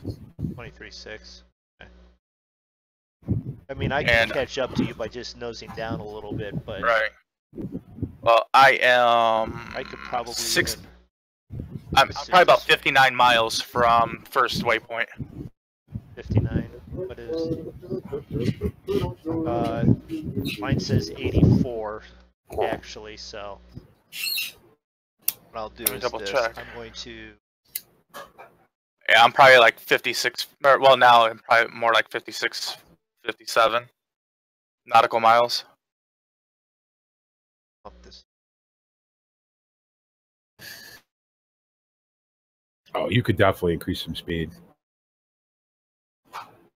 But once again, I'm doing rough estimates by my paper nav chart that I ha- that comes with this plane. Gotta pay more attention to chat, Moondog. Just see what uh what Evan wrote? He's your he's your little he's a little fanboy, huh? Good for you. All right, this Yeah. has been awesome. You guys are amazing, and not enough people I, know s- I about. it. did see that. I did see that. Yes, uh, I, I agree. We should have a whole lot more people. But at the same point, I don't want the same person 42 times. It's nice. I appreciate the thought. And I mean, and to be don't get us wrong, we appreciate each and every single one of you. it. Yeah. Well, I'm already famous, but thank you. No, I mean, wow, that was an asshole thing to say. yeah, that wasn't it? was. But the whole monkey. I mean, David, who does a good, very good job. He's very good at everything he plays game wise. Farm manager. Oh, and he never streams. Whatever. I wish David Yeah. would stream more because he can't talk. He's he's he's like you guys. He hates the sound of his own voice. You guys are in the wrong business then. Uh, j- damn, you guys are in the wrong business. I gotta watched. get used to your I, I watched his ETS or ATS. It was like four hours of nothing but the sound in the, the truck sound, Mhm. which is fine if you like the sound of the truck. Yeah. Um, Cavalier Roy, he deserves. a Oh, he's another one. Yeah, Yeah. but um, he never talks either. uh, Kevin, if he's uh, starts streaming, which he said he Yep. was Yep. interested in doing that. Yep. You know, Once he gets all- healed up, he's gonna Yeah. be he's gonna be streaming, and he's got a great he's got a great accent too. A little hard to understand, but you, It's a you get little to more, after a uh, a little more English. Let's just put it that way. I think. Um, yeah, Due to it's- the it- different dialects there. right. Um, But Yes, I, But I then turn on my again- videos long enough to make sure I can hear what I, s- uh, you know, everything sounds good, and then I turn it off. I don't. I'm getting used to it. It's fine. It's just it's not the voice that I hear in my head. So it's just getting used to what it actually is. Um, You know what? Fre- Frito's hard to understand, and he that's just because he's out there with all them others in Oregon and Washington talking to the Weirdos. birds. Yeah. Uh, so I, I officially became a part of the Monkey Show today. I streamed for about 11 minutes today with my mic on mute. I was talking away, and then Travis popped into the chat, and he was like, "Oh, Peter first. He's like, BP, if you're talking, we can't hear you." I'm like, "Oh, you got to be kidding." me." really? I was already like 20 minutes early. I had everything loaded up. Restream was up. Everything was running, and I'm talking away, doing my intro and everything, and then Peter's like, "BP, are you talking? Because we can't hear you." Crap. yep. Here we go. Oh, and I never mute my mic ever, but I was No, doing. no, one we my- can we can hear when you stomp off and screaming and ranting and raving. Oh God, yeah. I don't mute my mic. It's part of the show. But I muted it because I was doing Assetto Corsa. I was doing the next round of my custom championship, and I don't want to, like, I don't want to talk during those because I'm trying to race, and I don't want to keep the mic open. Even though I don't talk, it'll still pick up the sounds of me grunting and sweating and swearing at the AI and everything. So, Right. You so I just mute that it. you want that you want as as it looks to me as the race, the car, your point of view. You don't want Yeah. to be injecting anything other No. than that, like God damn that son of a bit.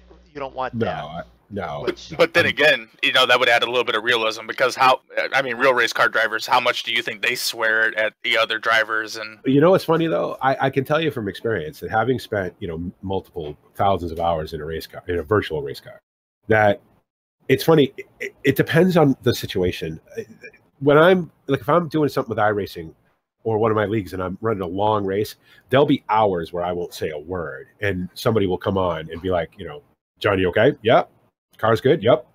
Because I don't want to hear it. I don't want to talk. I'm focused. You know what I mean? And that's if I'm just screwing around eh, doing something, I'll talk. But when I'm racing, I nope. I'm focused on the car and what it's doing and what I'm doing. I don't have time to be entertaining. Oh, that's why I don't. I, I couldn't stream. I, like I couldn't record my flights either because, like, well, what do you? If somebody would ask me in chat, what are you doing? I'm watching a movie. Plane's flying itself. I don't need to do anything. You know what I mean? I'm monitoring. I, I'm pl- watching Police Academy on Netflix. What what what do you think I'm No. doing? the other night the other night when i flew from when i flew from um, lax to heathrow i got it i got up to the cruise got up to 30000 feet got up to the cruise got a little VATSIM over uh, the east coast and then did my check-in did my etops my position reports my fuel reports and all that had six hours over the atlantic i put on i put on grand tour on amazon prime and watched that all the way into the approach to heathrow occasionally would look over at the plane yep still in the air good yep how long, how long of a flight was that for you from LAX to Heathrow? Uh, with with the queue at LAX because VATSIM America or VATSIM California was having an event, at, and then uh, with the queue coming into Heathrow early morning like that, about thirteen hours. Damn. Thirteen hours. Yeah, but And I thought, I thought six and a half from Canada to Cork was long. that's three that's three and a half on each side. You know, so the flight over wasn't bad at all because I'm I mean I'm cruising, I'm flying with the prevailing winds, and the weather was good. The weather was fantastic all the way across the United States. Got you know got overcast as you got over Ireland like it always does. Just completely blocked out coming into Heathrow. Couldn't see anything. Couldn't see the runway till like till the damn back wheels touched down. You know, but the weather was fantastic, so I didn't have to do anything. No buffeting. Didn't have to slow down. Didn't have to change course. You know, just file my ETOPS reports over the ocean. Check in with BA every two hours and watch the Grand Tour. It was great. So, and people uh, ask me, they're like, "Well, what?" They're like, "Well, what's the challenge in that?" Well, I've already done all the challenging bits. I've done all that. You know what I mean? The, the I've challenging bit is not being asleep when Yeah. the check on me.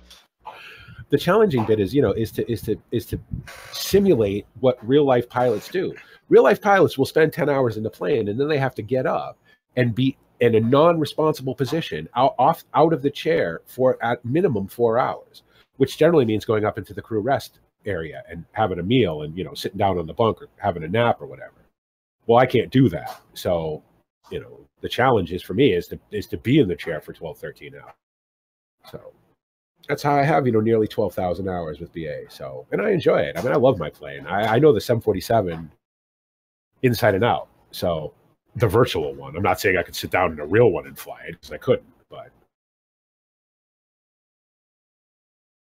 but I I fully enjoy it. Oh, I just become such a snob. I need to do other things in flight sim.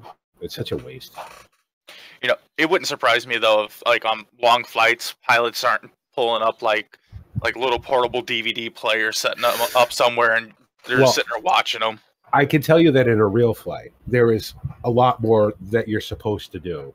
Like we have, we have um, what's called procedural outlines on BA, right, for each plane, and now somebody's actually going through the trouble of making them for each route, you know, that we fly. So, and and it's it's pages and pages and pages of stuff that you could do while you're flying these long haul flights. You know, navigation calibrations, position reports, fuel reports, you know, checking on engine temperatures and engine performance and all this other stuff that you could be doing while you're on these long flights. But the problem is, is that while yes, in my in my plane's case, all that stuff is modeled. Uh, I can't be arsed. You know what I mean? I, I just want to make sure that all the gauges are you know green and the plane's flying in a you know basically straight line. So I know there's guys in BA that, that do it though, that do every bit of everything that a real pilot would do. And don't think that the real pilots, like my 747 has a tablet built into it, right? And I can pull up things from my computer on a tablet. And don't think real pilots don't do that too. You Oh, don't think sure they're over there not watching, you know, Top Gear or whatever? of course they are. Yeah, because you know, even if they have all that, eh, you know, a 13-hour flight. I mean, Yep. I'm sure they get that all done within like what 30 minutes or so. Yeah, usually, usually by the time you get up into the cruise, once you're fully established in the cruise, you're pretty much done doing anything. You're pretty much done having any interaction with the plane, unless something happens uh, for the next however many hours. So then you're just monitoring the systems, um, And- which and can be the- challenging the- in itself. The comment of, "Wow, this is awful boring." Well, a good flight would be boring, right? Exactly. You didn't Exactly. crash. You didn't have any instances. You didn't Exactly. have nothing to cause you to go, "Oh crap." The good, So, the uh, good you know- flights are the boring ones. Yep. That's that's very much what your passengers want to hear. That it was a boring flight. Yes, thank you. Oh, And we, we joke around where you go, "Oh crap," and then Drako goes, "That's just what the pilot, you know, the passengers want to hear is the pilot going, "Oh crap." Well, Or right. where are we? No, the, be- the best one we? is the best one is when you walk in the back of the cabin and ask the cabin crew to make you a drink. Oh, yeah, I'll have another gin and tonic, thank you. Oh. you know, I was watching this one YouTube channel. It was about, you know, it. They actually had like a real cameraman in there filming, Hmm. you know, actual airline flights. Yep. Anyway, in the middle of one of the flights, it was a 747. One of the engines went out when it was getting ready to. It. It wasn't quite on uh on final to um. I want to say it was uh Berlin Yeah. or something like that in Germany. Anyway, they declared an emergency, said that they, that they were losing an engine and they're going through emergency procedures. They needed priority landing. Yeah. Air, the air traffic controller in Berlin uh, told them that they had an, that they had three other planes ahead of them. Please circle. Well, you can. You know what though? One engine in a 747 is nothing. Means nothing. A 747, the 740, especially the GE engines and the Rolls Royce ones that are on my plane, are powerful enough that it will lift a 747 from a dead stop to 30,000 feet into cruise at 500 knots on one engine. So the other three are just sort of, you know, ballast. Now it does unbalance the plane having one engine, but you just shut it off. You know what I mean? And you can definitely land and you can definitely sit in the hold as long as you have fuel. As long as it's not on fire and it won't go out, it's really not a massive. I, I've I've simulated failures in my plane occasionally because somebody will ch- ch- uh, will private message me on VATSIM and say we're working on emergency procedures with this guy. Can you you know simulate this emergency? Sure. You know what would you like me to do? Well, how about a landing gear failure? Mm, I can turn off an engine. Because landing gear failure, I don't feel like trying to belly land a 747 today. I'm not really into it. I've been in the chair too long or whatever, and I've done it for him, you know, um, badly, I should point out. But Um, skip The best thing is when you fly it- down the runway. yeah, well, what you do is you you you come in you come in basically at full power, right? Yeah. All the engines screaming, and as soon as you're over the threshold, idle, full reverse, air brakes all the way out, right? And you're just you're mashing that yoke forward as hard as it'll go to get the nose to hit first because if the front of the plane breaks off, you're less likely to kill everybody in the back. That's the correct procedure to do that. Um, I'm not Sully. I'm not just going to glide it down with no landing gear and just kiss it, you know. But the VATSIM, the, the, the guy on VATSIM was, was working on his emergency certification, and you know, and I was like, yeah, I'm, I'm happy to help. So, shouldn't ask me to do anything too ridiculous because I've been flying for a long time.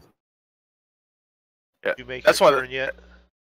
Um, yeah, basically it was flip from nav one to nav two and keep flying straight. Okay, I, I, I was just wondering because I'm about 19 from it, so. Listen to you guys. You're starting to sound like pilots. You better watch out. it's it's Zig's fault. It's not my fault. Well, Oh, it ain't my fault. Ryan, how your- no, you're was the one. You're the one that kept going. Well, I want you know what's chart. You know, what, what's ILS for this place? What's the correct uh, landing direction? He's the one that's been very specific on all this. So we just sort of you know. You guys should went get a. Navigraph subscription. Navigraph is fantastic. That's the way to go. Up to date, current, real world nav aids, real stuff. Um, and if you get sim, if you sign up for SimBrief, you can always update your the SimBrief navigation with the latest navigation from Navigraph. And it's not expensive. It's it's actually pretty cheap. And if you get the full package, I think it's forty five dollars a month or whatever. And I think it's probably even cheaper than that now. Um, you get the full package. You get access to everything training and charts and I mean it just just re, just millions of pages of stuff. So it's definitely uh, it's definitely worth it. I just grab my phone and type in ILS for whatever airport I'm going in at, And and, that- it gives and- me all the runway Yeah. ILSs. And that's fine, but a lot of times it's very out of date. Some of that stuff is very very old. Yeah. and- Depending on how new your plane is, if your plane is is is programmed with a, a more current nav data, you'll never you know what I mean. You'll be like, well, I'm 30 degrees off, right? Because you know the nav data is saying it's here, and my plane is saying it's there. which is probably why Drako has a few times been 30 You- miles east or west of Zig Well- because he's following same different VORs or the same VORs due to that plane. Well, you also have to figure too. I'm following radio, where you guys are following VORs, but your VORs are built into your GPS, so your GPS is more That's accurate than radio VOR is. Well, Doug, you know you don't got to adjust that cabin pressure, right? It'll adjust automatically. You only got to set it for your landing, your landing um, Oh, okay. altitude. Well, I was going up some, so that's why I was. You generally want you generally want to set it at like, I don't know, well, below ten thousand feet, obviously. But after that, you don't have to mess with it until you're about to land. Then you set it for your landing altitude, and then that's it. It Oh, should okay. auto. It should auto correct. Any pressurized plane will, will do that. So. Hey, you learn something new every so often. You know how many times I've forgotten to freaking like, and and the 747 will absolutely remind you. You know, it'd be like, you know, I'll get out master alarm saying I haven't turned the packs on. Like, mm, it's gonna get gonna be getting pretty cold back there. Maybe I had to turn those on. I don't know how many times I've landed and forgotten to decrease the pressure from like because I usually set it when I'm flying about twenty thousand. I usually set it about fifty six hundred. Yeah. And I'll land and I'll be like, oh shit. So then I'll just hit the emergency de- uh, decompression and back. That's good. Yeah. Just and then and then have the have the plane cleaning crew come in and scrape everybody's brains off the inside of the plane. I haven't had one passenger complain yet. You know there are planes that simulate the the the diff because what will happen is the it'll be very hard to land a plane. It, it, it's it'll be like trying to land a helium balloon. Right. You know what I mean? Because the plane will actually be bigger in space than it would be without the pressurization. So I wonder if this plane, if this doesn't model that, because I've noticed that when I forget to do that, I have a hard time. I'll float left and Yeah. right. it does make a difference. So it's a silly little thing, but it I never would have thought that. Yeah. Well, you got to realize that uh, you're, you're inside a giant tin can, right? And the air pressure is pushing against the walls of the plane, makes the plane naturally more, more buoyant. So, what's the first thing you do when you're going to land in water? And the reason I know this is because I've simulated it, because we had to at BA. Is you put the pressure, you put you turn all the packs on max, and in the 747 you have an you have a water landing setting um, that you can set, and it just cranks the cabin full of air, basically turns the plane into a, a helium balloon. balloon. So then it makes it easier for to stay afloat. afloat while you get everybody off. Right. Yeah. Yep. Because as soon as you open the doors, obviously all the air rushes out. but that also helps with passenger egress. It helps the ramps extend and all that, and it keeps the plane afloat while everybody gets out. Planes are designed to float for X amount of minutes anyway, if they're structurally sound. If you put them in the water and they don't break up, they're designed. They're by law they have to float for X amount of minutes to allow the, however many people are on the plane to get off. Now, if you hit the water and the plane breaks up, well, then all bets are off, and you take your chances. But That's one of the things I've always wondered about, like the DC three, uh, DC three, the six, and like my plane and whatnot. You know, the the prop engine planes. Yeah. When they do water landings, how often did would those props uh, snap off the hub Oh, and end up come- going through the go through Yeah. the well, cabin? Th- th- that's not so because of the way they're positioned on the wing. It, that's not so much of an issue because what happens is when you hit water, the whole nacelle, the whole engine will because the the gyroscopic effect of the prop spinning will actually rip the nacelle off and blow it away from the plane. Yeah. You know what I mean? Mostly, or it'll rip the wings off.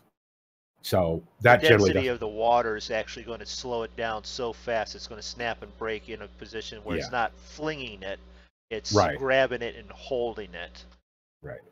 the only time you'd have to worry about a, a, a prop coming through the cabin is if you hit something solid.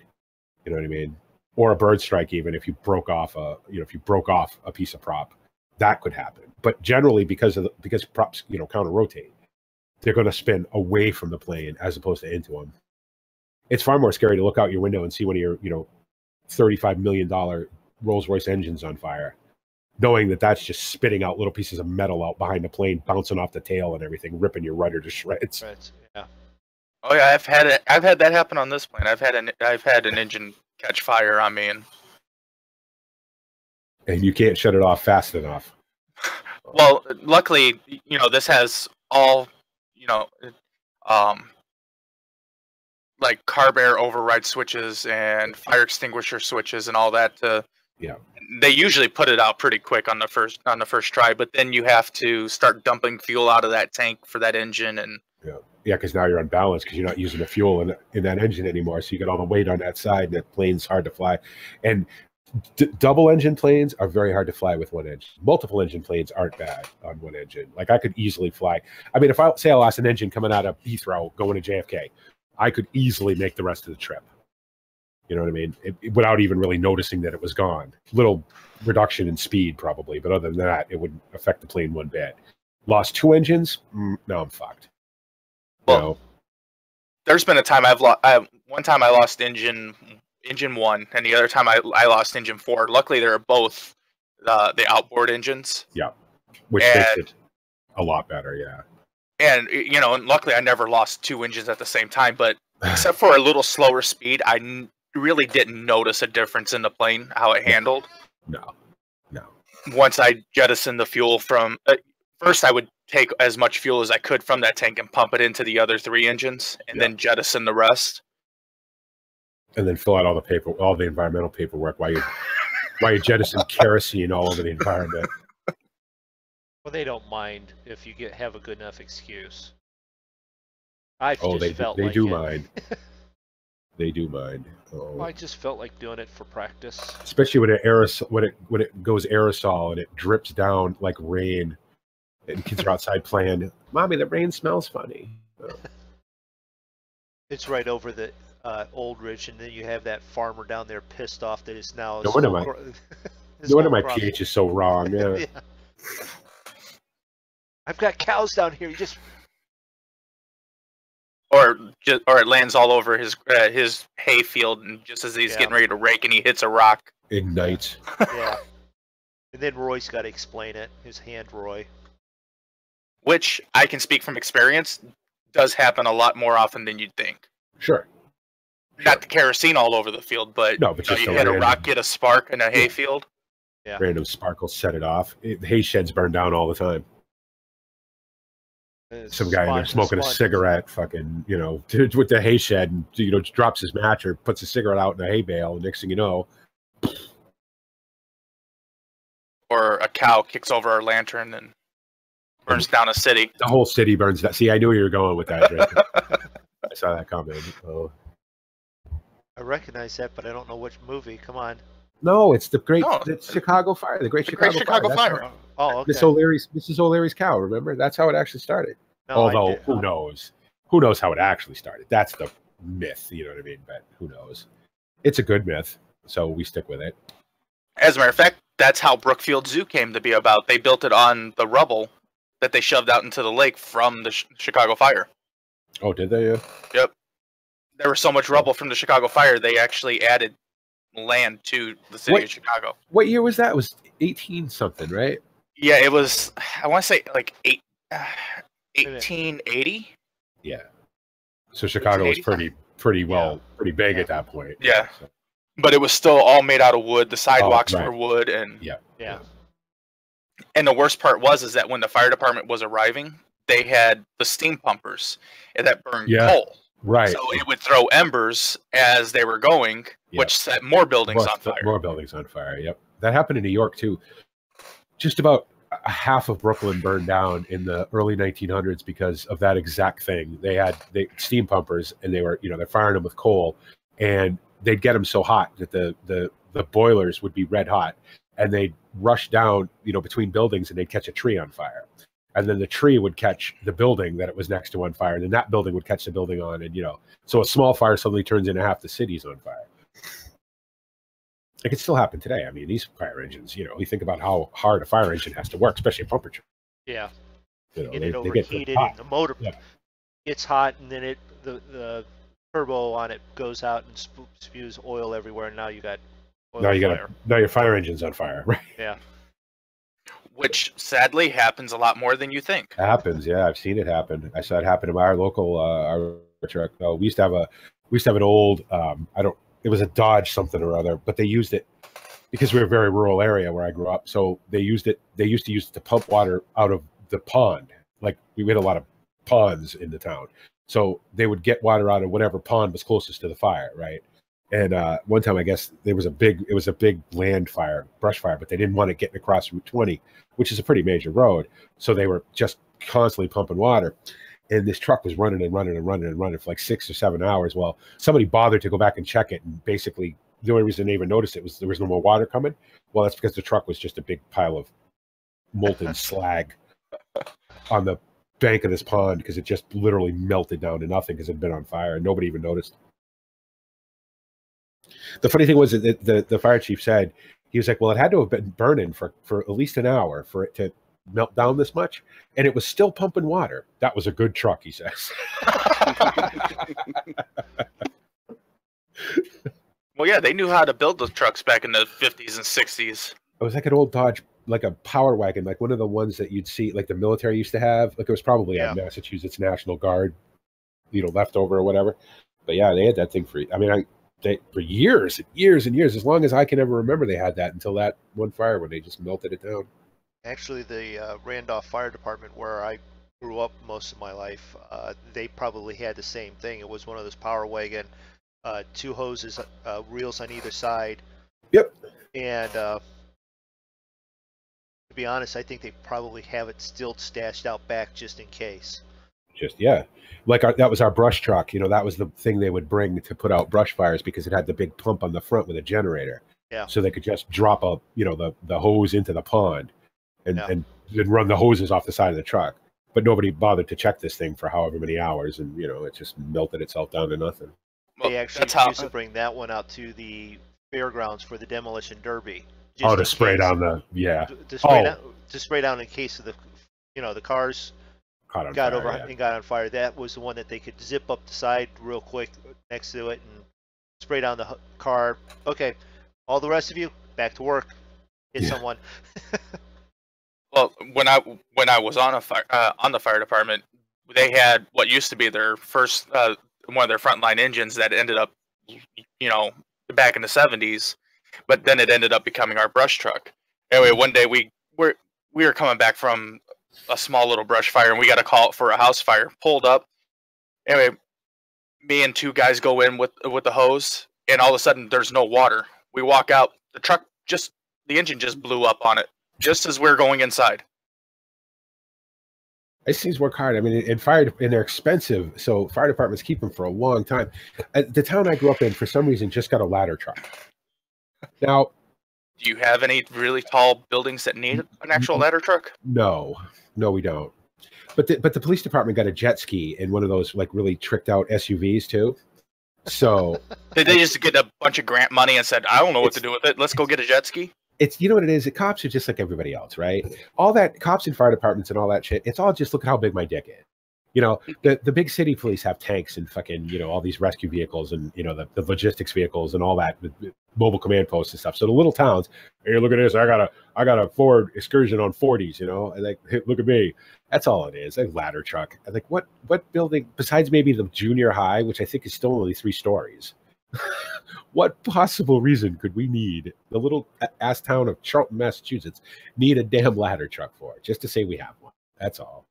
Well, it's North like Canton the- has one, but that's because they have enough factories that are still only two or three stories tall, but they're long enough that that way they can get high enough to spray the water down onto. Uh, I get it. Yeah. But that one makes sense, you know. The, Well, we just they just wanted to spend two million dollars for no apparent reason. So Well, the had- small town that I came from in Illinois, tallest building was like a three-story tall apartment building. They went out and got a 120 foot ladder truck. yeah, that's what this one is. I think it's big, whatever it is. It's a big. with all Whatever the, those- the outriggers that po- Yeah, stand it, out the it looks side like and it, it, it becomes Yeah. like a big uh, crawling insect, which is what my wife called the one because they had it extended like that and only had the ladder part way up when she came around the corner. She goes, "That looks like a big bug." It looks like one of those big rotator uh, recovery trucks, you know, that they used to Yeah. haul like rig, Yeah. you know semis that are stuck in the snow and shit. That's what it looks like because these big things come out the side. That whole ladder bit turns and swivels and and everything. And it's got about a billion lights on it because they have, we, we have what's called Founders Day every year. Well, they do. I don't live there anymore, but and they troop all their new shit up and down Main Street, and all the fat people from my town sit on the common and eat fried dough and watch. Ooh, look, you know. Um, and that's but so that's when I saw it, and I was like, now why in the fuck do we need this? I'm like, well, and I said to my mother, my mother was still alive at the time, and I said, well, there's your tax dollars hard at work. I don't live in th- this town anymore, so I'm not paying for it. Yeah, What what I think is funny now is the trend of the fire departments getting you know their new trucks with so many lights on it uh, that it'll induce an elep- epileptic seizure. Oh, you know what? That you mentioned that the town. There's a town, a couple towns for me uh, called Sturbridge, and they have. story, Brad. Brad. yes, it is. Oh, That's you're, all we. you're in the, that's all you're we in the do place is for interesting we, stories. we just talk. We get the plane. We get, we're flying. We're good and go, golden, and then we just talk. um, the, Go And we do this with every game we play. every game we play, whether it requires concentration or not. Um, the, Even the better town if it that, does, doesn't require concentration. that town, they've got the cops have got these. You know how they have the the white lights on the front, right, to use as Uh. spotlights or whatever, and then they have the blue lights on the back, so if they're parked on the side of the road, you can see them. These things are so bright. One time I lived, they, they used to, I used to live on a road in an apartment complex, and it's a 40 mile an hour speed limit, but people always fly up and down because it's long and straight. And the cops are like, well, that's our moneymaker, so we're going to pull everybody over on this road. Well, my girlfriend at the time, my youngest daughter's mother, and me were coming back from somewhere. It was pretty late at night, and right in front of where we lived, cops had pulled somebody over, but there was four of them because we don't ever do anything half-assed in Massachusetts. If if one cop is enough, we'll send six. So there's four cops with those damn super bright lights. Do you know my girlfriend went off of the road into a ditch because she couldn't see the road. She couldn't see. Yeah. She couldn't see, and I and I couldn't see, so I didn't know we were going into a ditch till the car suddenly made a complete stop. And I'm like, "What the hell happened?" She's like, "Oh, I went off the road. I couldn't see." I'm like, "All right, are you okay?" Now Ava wasn't born yet, thankfully, but I'm like, "You okay?" Yep. So I got out of the car. Now you guys know me. How do you suppose the conversation with the police went when I I, got there? I'm assuming the first 40 words were swear words. Well, I got about four words out before I had four Sturbridge police with their service revolvers pointed at my face. I was gonna say, were there tasers and handcuffs involved, or did they just go straight for the for the nine millimeter? Oh no, they went straight for the straight for the service revolvers, and they were like, "Sir, we're going to need you to back up." And I'm like, "I'm going to need you to call me a fucking tow truck and an ambulance, and I'm going to need your names, and I'm going to need who who I'm sending this bill to to fix this fucking car." Well, see, Oh, that that's a real situation with that. I, I keep hating the newer and newer cars coming out with the brighter and brighter LED lights, and it's like, and then the person wants to drive with the brights on. It's like, I can't see when you have it on just the dims because I'm pretty good at seeing at night. I can walk down the street with no lights on and see where I'm going. You'd start putting a car that can bright up four miles ahead of it coming at me. I'm like, You're gonna be lucky if I don't run into you because I can't see where the fuck I'm going. You know what's funny is that think about that now, right? Now you wonder why the AI is so crazy in ETS2. How many lights do you have on? I mean, I got a. I mean, my truck is. You know what I mean? No wonder they like you never think Stu- about that. Stu- right? Stu's just a driving blinding sun. Yeah. Yeah, it's like he's like following around a, a supernova. You know what I mean? So no wonder the AI acts so crazy. Well, that's like, have you seen uh, the new Dodge Chargers? I was eh, I was driving home one night and ended up behind a Dodge Charger, and it's not like a regular turn signal where it just flashes. It actually looks like something from like freaking Star Trek or some shit, where it actually starts at the middle of the, Oh, of the back of the car and Yeah. Track just kind back and of forth. yeah, and tracks back and forth the way they're going. I'm That's like, kind of cool. Actually, the Ford Mustang who did that also of, of a while ago. They're doing that to help you direct. That's why there's also the one on the mirror, so that because just in case you happen to be up beside it and the person in the is driving and wants to turn in the left lane doesn't realize you're there, they turn on the turn signal. You can see that they're coming over. That's why that's there. It's good. Then the bastards inter- can hit me and buy me a new car. well, at least you then you know why they're hitting you. Well, then they'll know why I'm hitting them. I've got a, I've got a six watt light bulb in the front of my truck. I don't have shit like that. I don't have any of that fancy shit. Pretty soon it's gonna be a flashlight taped to the hood. One, one on is- each corner, so that you Oh, can, it's you know it's a good thing that parts for this thing are so cheap. So, uh, how fast is he fast are you going? going? Not Uh, fast enough. Let me just put it that way. I, God I. I am registering 211 with a ground speed of 308 and true airspeed of 310. I'm trying to catch Drako, who's just ahead Which of all me. means nothing. right. You're going 211 knots. God damn, you could walk faster. I'm doing 210. Well, you're even slower. yeah, BP. right about- right, Right about now. I'd be going by you going with 612 knots. See ya. But I'd be 20,000 feet ahead above. Well, no, you're fine at 23, 20, 235. I'd probably be at, over this. I'd probably be at about 30. So I wouldn't be that much higher. You'd be close enough that we would hear you come and go. Zoom. You'd okay. see me. Yeah. You'd see the you'd see the contrails on a, on a sky this clear. Absolutely, you'd. Be doing this. What the heck is that? Okay, gone. Or if I came down to your level and just parked up next to you, hey, what's going on, Moondog? ah, that's a big fucking plane. Yeah, it is. Especially if really look at this, that that thing outside you could, is not very big. We could park that could, in your engine yeah, bay. You could land this on the wing of a 747. You could, yeah. So it'd fit. Yes, yeah, so we're coming in and landing from the left wing. We will be headed to the right wing, and then once we land, we will then taxi to the tail. Yeah. How far are you out? How far are you out from the airport? Uh, at the next marker, we're 130 Nine total. Oh, Right. Uh, so we're past well, halfway. Actually, I just turned. I just turned turned off a DVA onto CWT. Okay. So about one one six about 162 miles. So about a half an hour. All right. So I have time to go to the bathroom. I'll be right yes, back. Yes, you have time. Oh. Yes. Um, I have it as a 100 and. Wait a minute. 160 miles from DVA to airport. See, I have uh, 130 miles to CWT and then 25.6 to the airport.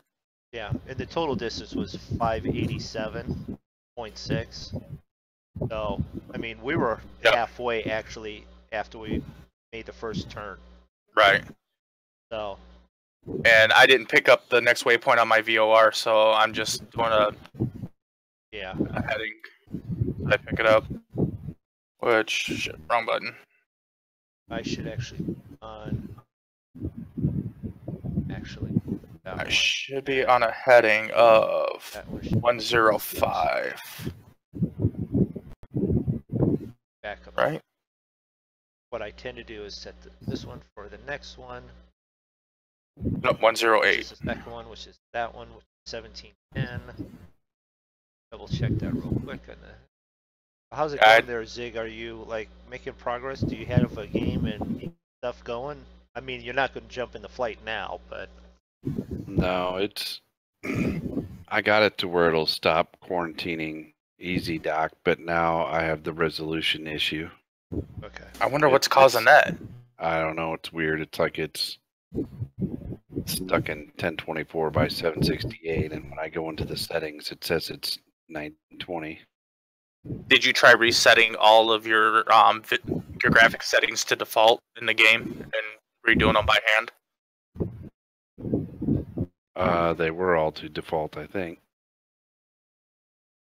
In in flight sim, you mean? Yeah, in Flight Sim, not not in Rex 4 or anything like that, just in Flight Sim. Well, I, Um, Brady, I changed. go ahead. No, go ahead. Brady's. Uh, Brady was at, you. You should do formation flying with a bunch of A380s.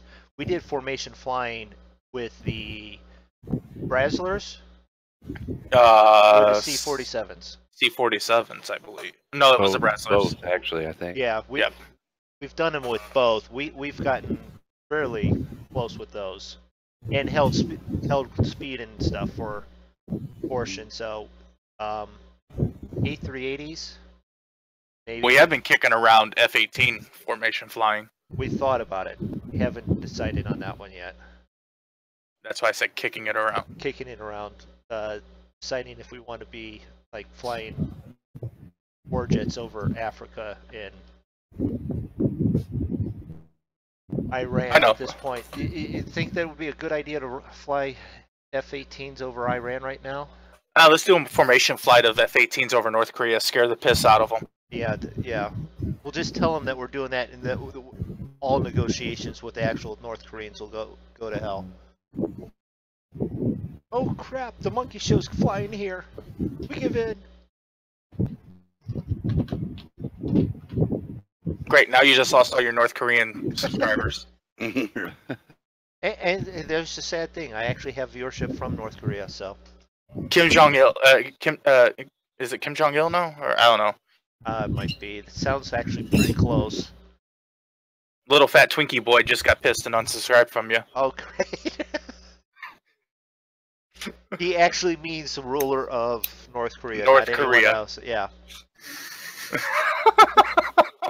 I think it's Kim Jong Un now. Un. It's Un- it's it's the it's it's the uncommunist. He's so communist. The other communists go, "Whoa, easy, calm down there." matter with this guy? He's crazy. I don't know. I don't. You know, you don't get to come into the private communist toilet anymore. You're a scary little man. He's so crazy. Even Lenin be like, "Whoa." I don't know. Lenin was pretty crazy. Stalin was the crazy. Not as bad as Stalin though. Stalin was batshit. Stalin uh, was. he- Kim, no, he Kim wasn't. Jong Un. Yes, Un. Un. Yeah. The Un. un. The unlunatic. Oh. You should do formation flying with a bunch of A380s. Why? A380s. Pff, Big French over inflated. Never mind. Anyway. All comments stated by BP may or may not be authorized by GP. And yeah. Tell us what you really think about him. I don't know. Okay, Kim Jong Il was his father or is his Father. father. How did we get talking about the North Koreans again? Because we were talking about flying. He mentioned uh, formation flying while we were while Oh. we were gone. So we were talking that we have done the C-47s, the Brazos formation, and we were kicking around the idea of doing F-18s. Where? Oh Well, God. Yeah, North Why Korea. you- Yeah, Yeah. Yeah. Why would you want to fly an F 18? because it's there. No, they're miserable. No. They're awful. Actually, we should actually, if we were to do it, seeing how we are the prop heads, we should do it in P-51s. Or the F4U Corsair. Yeah.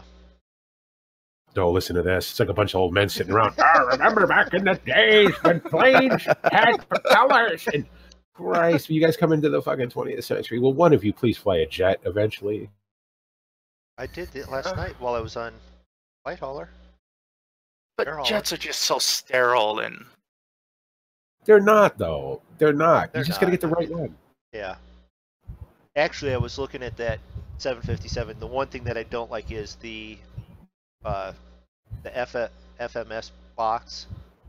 You can hold the over the buttons, but the buttons do absolutely nothing. Right. So it's like, Right. if I do, I want to get something where I have to learn that box. It's a very limited Yeah. MCDU on that thing. Yeah, Yeah. it's very limited. You want something? I mean, uh, you you, you want to learn? Get a PMDG. I mean, Yeah, I know. that's Oh, you know what's you know what's a middle ground for that? A middle ground, the iFly stuff. Now it's it's very detailed. It's not quite study level, but it's pretty close, and all the systems work. And you can definitely learn. I flew a lot of hours in an iFly 747, and you can definitely learn how how jets work and how the systems work and everything else uh, with it. And they're not that expensive. And they just came out with a new update to it, and it's really good. So Alright. I'm 140 out from my last waypoint. Then it's a 26 mile jog over to the airport. Yeah, I'm. I just made. the Or as we I'm pilots 134. 26 miles to run, not jog. People jog, planes run.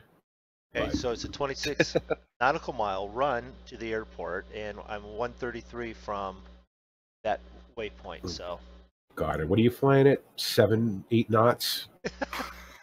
Hours.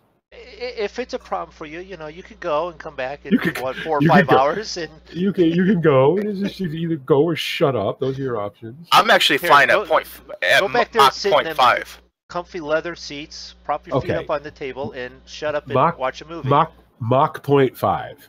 which is half the. I'm flying at half the speed of sound right now. Right, right. What's the speed of sound, Drako? Seven is it seven something? 720, if I remember correctly. Miles an hour. Yeah. What does that translate to knots? 690. No, Nope. not very damn much. Let's just put it that way. Okay. So the, the speed of sound was a big deal 80 years ago. It's not so much anymore. Oh. Hell, I fly almost the speed of sound on a regular basis with an unsupersonic plane.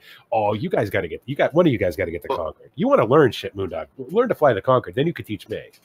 Okay. That We'll thing see. is insane.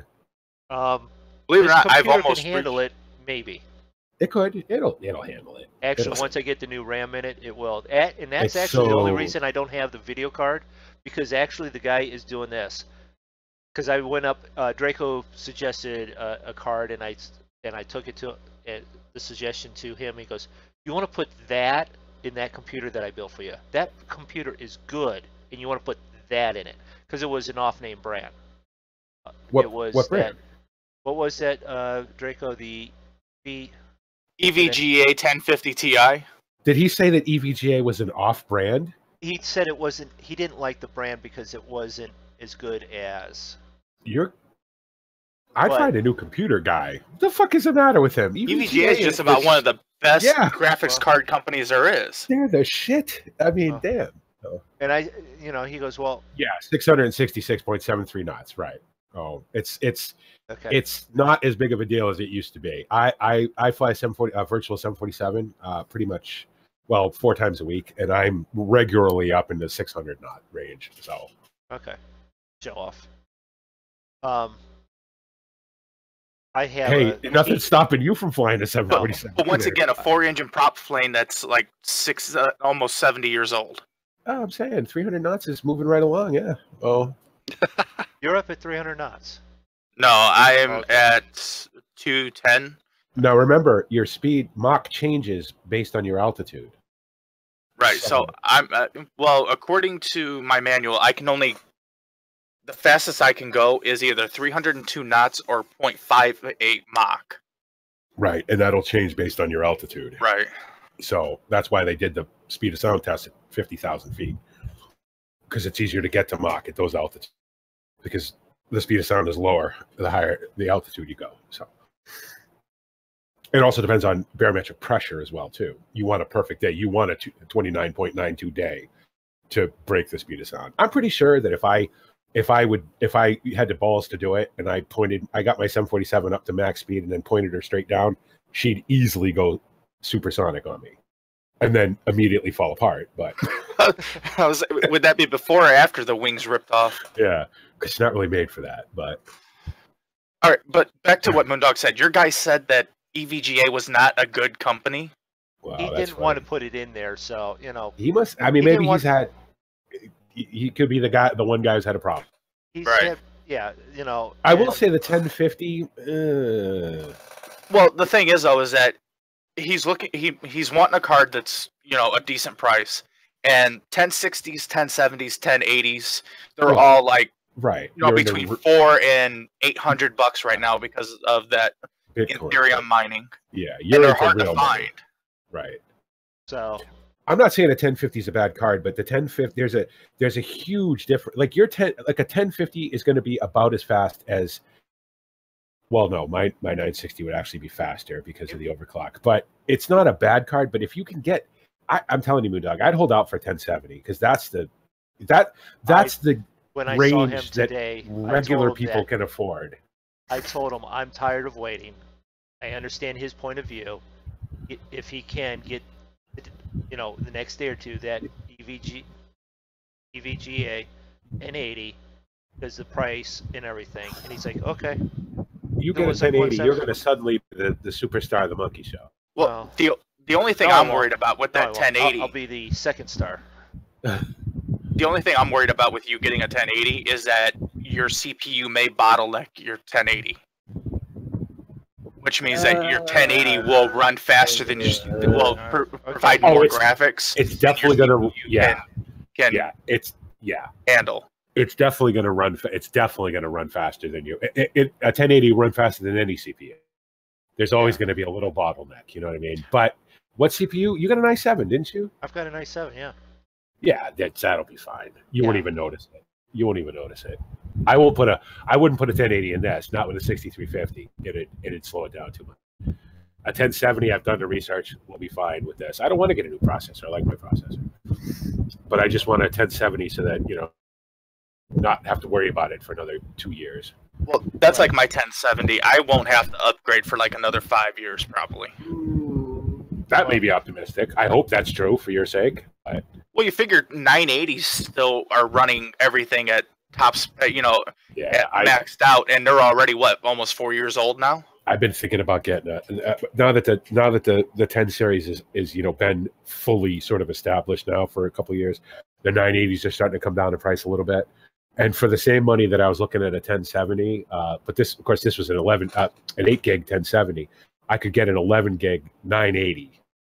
You know, one of the super fucking hey, look how big my deck is ones for about the same money. And I'm like, mm, do I do that or do I Oh. go to the 10 series? And Oh, the done with it? 980 Ti. Well, the thing is though, is that the ni- uh, 980 Ti it was a power hog. Yeah, that's fine. Eh, Listen, I have an AMD processor. I know all about power hogs. um, you know, Where- the Where the 10 960 series, it kind of sips the power, which is really nice. Yeah, it's got a it's got a way lower TDP than than the nine series does. My now this is a gigabyte G1 uh, Gaming Extreme 960 that I have, right? So it's Ah. it's already you know juiced up from the factory. It's got a ton of headroom overclock wise, and I keep saying, well, I want to get a 1070. Then I I'll play some game with this, and I'll be like, well, why? Are you going to play anything that's going to require more graphics than this? Not really. You are not me. You know. Like how many frame rates can how many frames can you get? Like auto Autonauts, you know what I mean? Like, geez, I'm getting Uh, 700 frames a second. I mean, if if nothing else, you could always get like another 960 and do it in 960s and SLI because I'm I pretty could. sure your motherboard will handle it. Yep, I don't. You don't need to do SLI anymore. Only for only for the 1080s do you need to SLI them. Anything under the anything under the 80 series, you don't need to SLI. You just plug them in; they work fine. So then I get Ah. a true, you know, six gigs because that's what this is—a six gig card. Well, I Oh. thought I, I'm I, I'm pretty sure you still need the SLI bridge Uh, I don't think so. because otherwise they'll otherwise they'll act as two separate graphics cards. And Uh, it won't re- it won't-. Won't pick up both graphics cards. I'll have to look it up. I mean, it's not like you double up your your power anyway. You know? Well, no, you still if you have six gigs before, you still have six. Gi- you know, Right. It just gives you all of this. You know what I mean? Right. You, you get all of it because it is using both cards. So All right, I'll be back and in it one doubles your second. clock speed. Oh, good. That's what you want to hear. The captain get out of the freaking chair while he's. Yeah, I don't know. Just, just at some point, you know, I love this computer. It's it's it's pretty badass, and I like it. No, I'm not in a rush to upgrade it. Just for you know, uh, because I know the games are coming. The problem is, is as long as they're going to keep making these super powerful graphics cards, game developers are going to take advantage of it. So it's going to come to where you're not, you know, none of us are going to have enough graphics power. So, I mean, Project Cars 2, which I'm really looking forward to, it's got a ridiculous recommended spec. Even the minimum, they've just they just dialed the minimum spec down, but the recommended spec is a 1080. So, or what does that tell you? That tells you BP won't be playing it. I- Although I got to say, the recommended spec for Project Cars normally was well, well, well beyond what the Abacus had, and the Abacus didn't have any trouble running it. So, But hell, probably in like the next 10, 15 years, there's going to be like the GTX 3000, and it's going to have, and 1280. and it's going to be like a, like a five, uh, five gigahertz clock speed, and they're not that run at- they're not that far off that now. No, uh, the 1080 Ti's are running at like two. Uh, I think they're like 2.3, 2.4 gigahertz, Yeah. which is like half of what my of what my 7600 uh, i7 runs. Sure, but look at how fast they process. Look at look at the cache speed on these things. You know what I mean? We're talking thousands of gigabytes a second. That's how fast graphics cards are. They are unbelievably fast. That's why people use graphics cards for regular, you know, computational pro, uh, computers because they're so fast. They're, they're ridiculously fast. My my 960 base clock is 198 nine, well 1960 something, right? It will turbo itself up to just about 2000. I can still clock this up, and I've tried it up to about 2500. Holy shit! Well, That- my my 1070 out of the box uh, will boost itself to 1999. right. and that's Yeah. doing um that's doing uh and i i checked that on heaven benchmark which is a free benchmark thing that you can do Yeah. Well, your 1070 is 100% faster than my 960. The 10 series, the 1060 is 50% faster than the 960. And the 1080 is 500% faster than all of them. I mean, how much more percent faster can we be? You know what I mean? At what point do we start going backwards? Because we're going so fast. Well, I'm going to put a graphics only- card in my computer, and it's suddenly going to be 1947. well my ti- my my 1070 they said is the equivalent to the previous version's titan Yeah. Well, you don't have to worry about speed until you hit plaid. After Ooh. that, then you got to. I'm saying, I'm saying these fucking things are so fast. I, I'm seriously afraid. I'm gonna plug in a graphics card one day, and I'm gonna suddenly go back in time. I son of a bitch. What just happened? Oh, computer, and you go back so far uh, go so far back in time they won't have power and you can't get back and I can't No. get back. You- You'll be back in time, and you'll have to uh, save Kirk's girlfriend from Hitler's SS squad or something like that. Oh, that's an old one, isn't that? Wow. That's that's Yeah. that's fir- that's original Star Trek. That's yeah that was original But that but that wasn't them going back into. Oh, yes, Yes. it was. That was was, that the- them going back in time or was that them finding the planet where they no, got I know- themselves No, I know the one that you're talking about. That was the portal of whatever. The, It, it was the- portal that th- something yeah, of yesterday, wasn't it called? The, the, the, the- Uh, the title some- of that episode was something yesterday. yeah, they- you're right. Yeah, McCoy ran through it, right? Because he was all Yeah. fucked up. he was messed up and uh, Yeah. delusional or something. Ran through, and they had to jump to the correct time, and they were off a day or two or something like that. Yeah, Yeah. yeah. Wait. Was that the one where they where it turns out that the set that they hopped onto the set that they used for that was the same set that they that they filmed um uh Andy Griffith the Andy Griffith, Griffith show on The Yeah, Main Street part, the Main, Main Street, Street? part was Yeah. was from was Mayberry. Yeah, Okay. Yeah. I didn't recognize that. Okay. Yeah. the one where Spock has the the like the dark wool cap over his Yeah. uh, Yes. on his head over his ears yes, Yeah. Yeah. I, I I can't remember what it was called. It was something yesterday. Was the title of the episode. That was a good one. I like that one. I like the ones where they where they either went back in time or they got like when they got stuck on- when they went to that planet and everybody went through the because the planet was dying and they were shipping people off to different times in the planet's history. And what's her face was in it? Uh, is that Jane Fonda?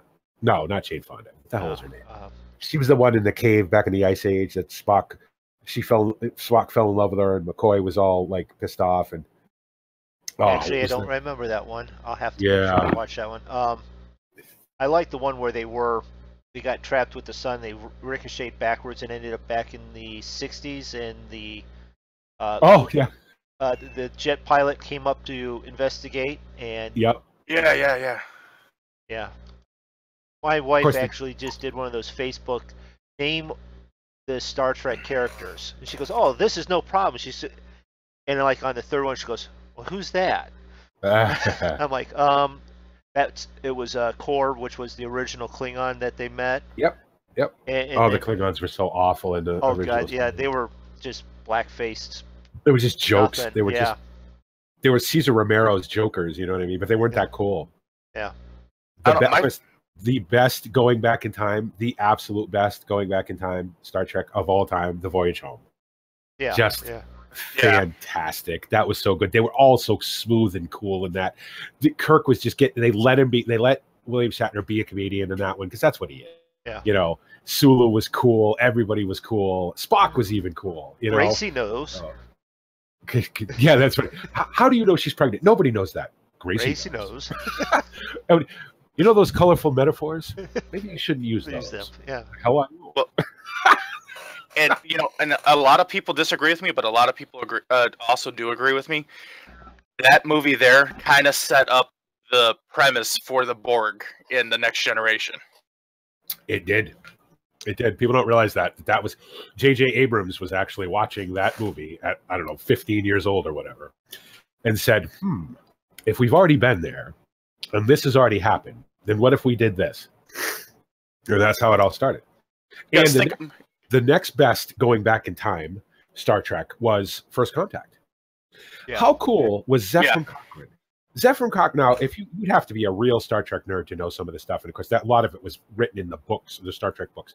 But everybody thought Zefram Cochrane because he was a creator of Warp Drive. He was this cool, you know, this very like Brady Einstein kind of guy, right? Turns out to be just this huge asshole drunk.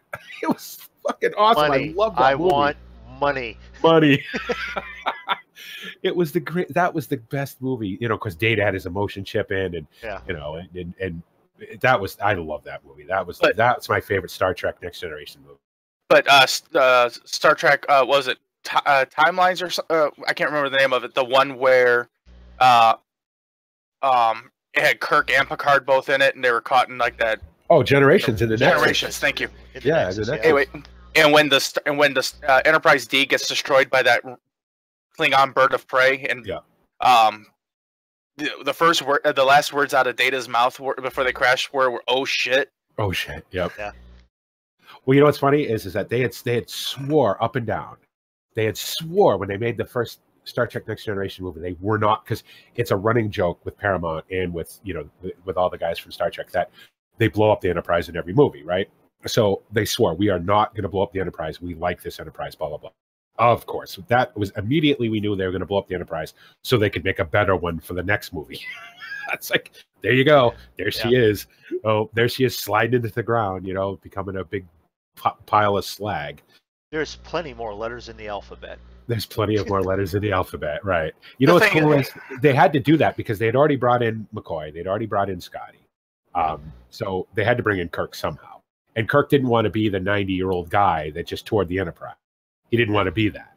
So Yeah, they- And the first one was uh, McCoy in one of the first. Was it the Um, second uh, episode? They were uh, shadowing was the- him. it was the no, mission to Star Point, uh, the Far Point.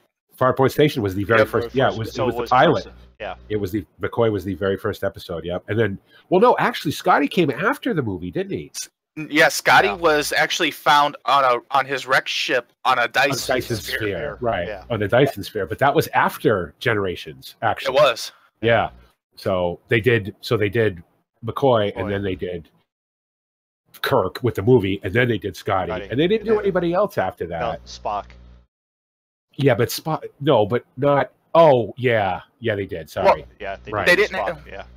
Yeah. They didn't have Sulu, but they had Su- uh, what was supposed to uh, uh, Sulu's, daughter daughter, Daughter. right? Sulu's daughter. in Generations. Did he die? Did he? Didn't they say he died? Um, I don't know I don't- if they ever said what happened to him in the movie because I seem to remember that. Oh, I don't know. I'd have to. I'd have to watch it again. Good thing it's they're all on Amazon Prime, but I, I don't remember. I, I thought they said he died or he had a disease or something. He caught. I thought he caught a disease and he was incapacitated or something. I don't know. I don't And- recall. I, I mean, the last thing you saw was his ship uh, wishing Kirk's ship Right, six, right. you know, fair sa- sailing and all that stuff. You know, Yeah, Right. in the um because he was captain of the Excalibur.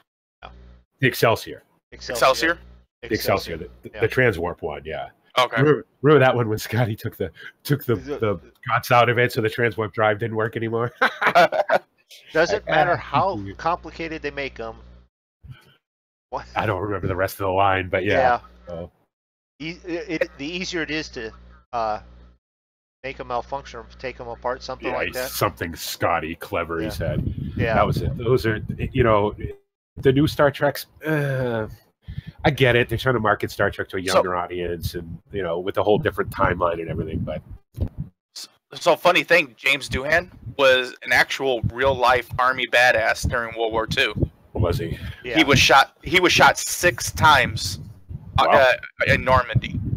Last time he lost part of his thumb, and he took a bullet to the cigarette uh, to a cigarette case that he had in his shirt pocket. Oh. or that one would have ended him. Yeah. I did not know that. Yeah, he was a real life. He, he was a real life Canadian, and he was also Canadian. He wasn't even Scottish. Right. He's well. He is Scottish, but he's he's from Canada. Yeah. I do know that he was in Bonanza a whole bunch of times, actually. I know that. He Yeah. did a lot of westerns, but everybody did westerns back then, you know. Uh, yeah. McCoy was a big time Western star. Uh, yeah, yeah. DeForest Kelley was in, DeForest was in a lot of westerns. Singer too. They all did. Wasn't he? Yes, he did sing. He had an album. It's called. I think Yeah. it was actually called. It was probably one of those '60s names, like DeForest Kelley sings your classics or your favorites or whatever. Yeah. But he was great in Final Frontier when he the got real when- drop. What? This is with what's his- up. We're, we're talking about Star Trek. uh, Yeah, To the TV show. Well, one of the uh, one of the things that a lot of people don't realize is, so do you remember in Star Trek: The Next Generation when uh, the battle at Wolf three five nine, where the fleet in- intercepts the Borg cube and is destroyed? yes, Right. One of the ships that was destroyed was called the DeForest Kelley. yes, Yeah. Yeah, well, Yeah. you know what? That's they they snuck they snuck a lot of that in. If you look, anytime there was a fleet buildup, and if you look really closely, you can see, like especially if they're looking at a tactical view of of the ships and they show the names on the little tags above them. There's ones called there's a Gene Roddenberry out there, the USS Roddenberry. Yeah. There's um there's a there's a uh, Um, oh what was the other one? Oh the the the US the the USS Freedom Yeah. which is named for Uhura because that's what her name means.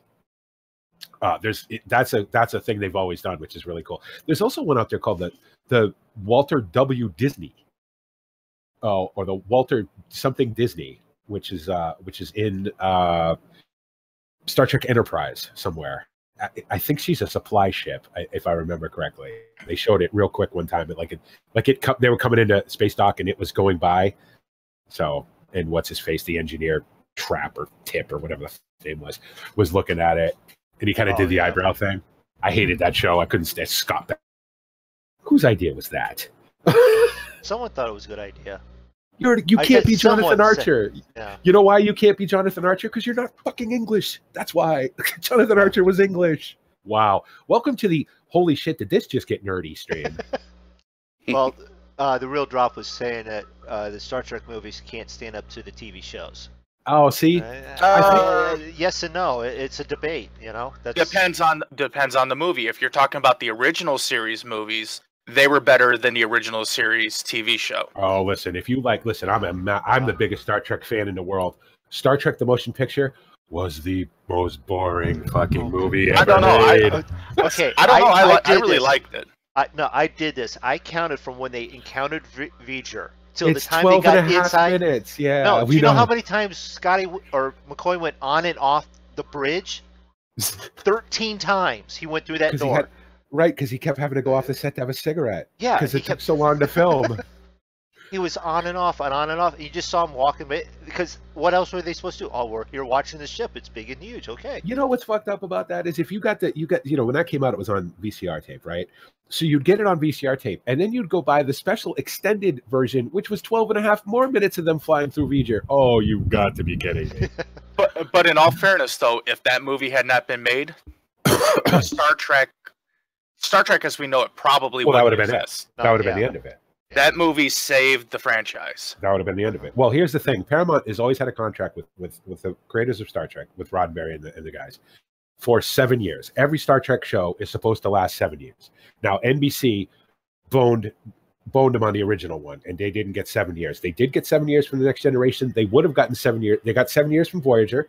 How they managed to stretch that stupid shit out for seven years, I don't know, but they did. Uh, They got yeah. seven years out of Deep Space Nine, which was another horrible show, except for the last seven episodes in the Dominion War part.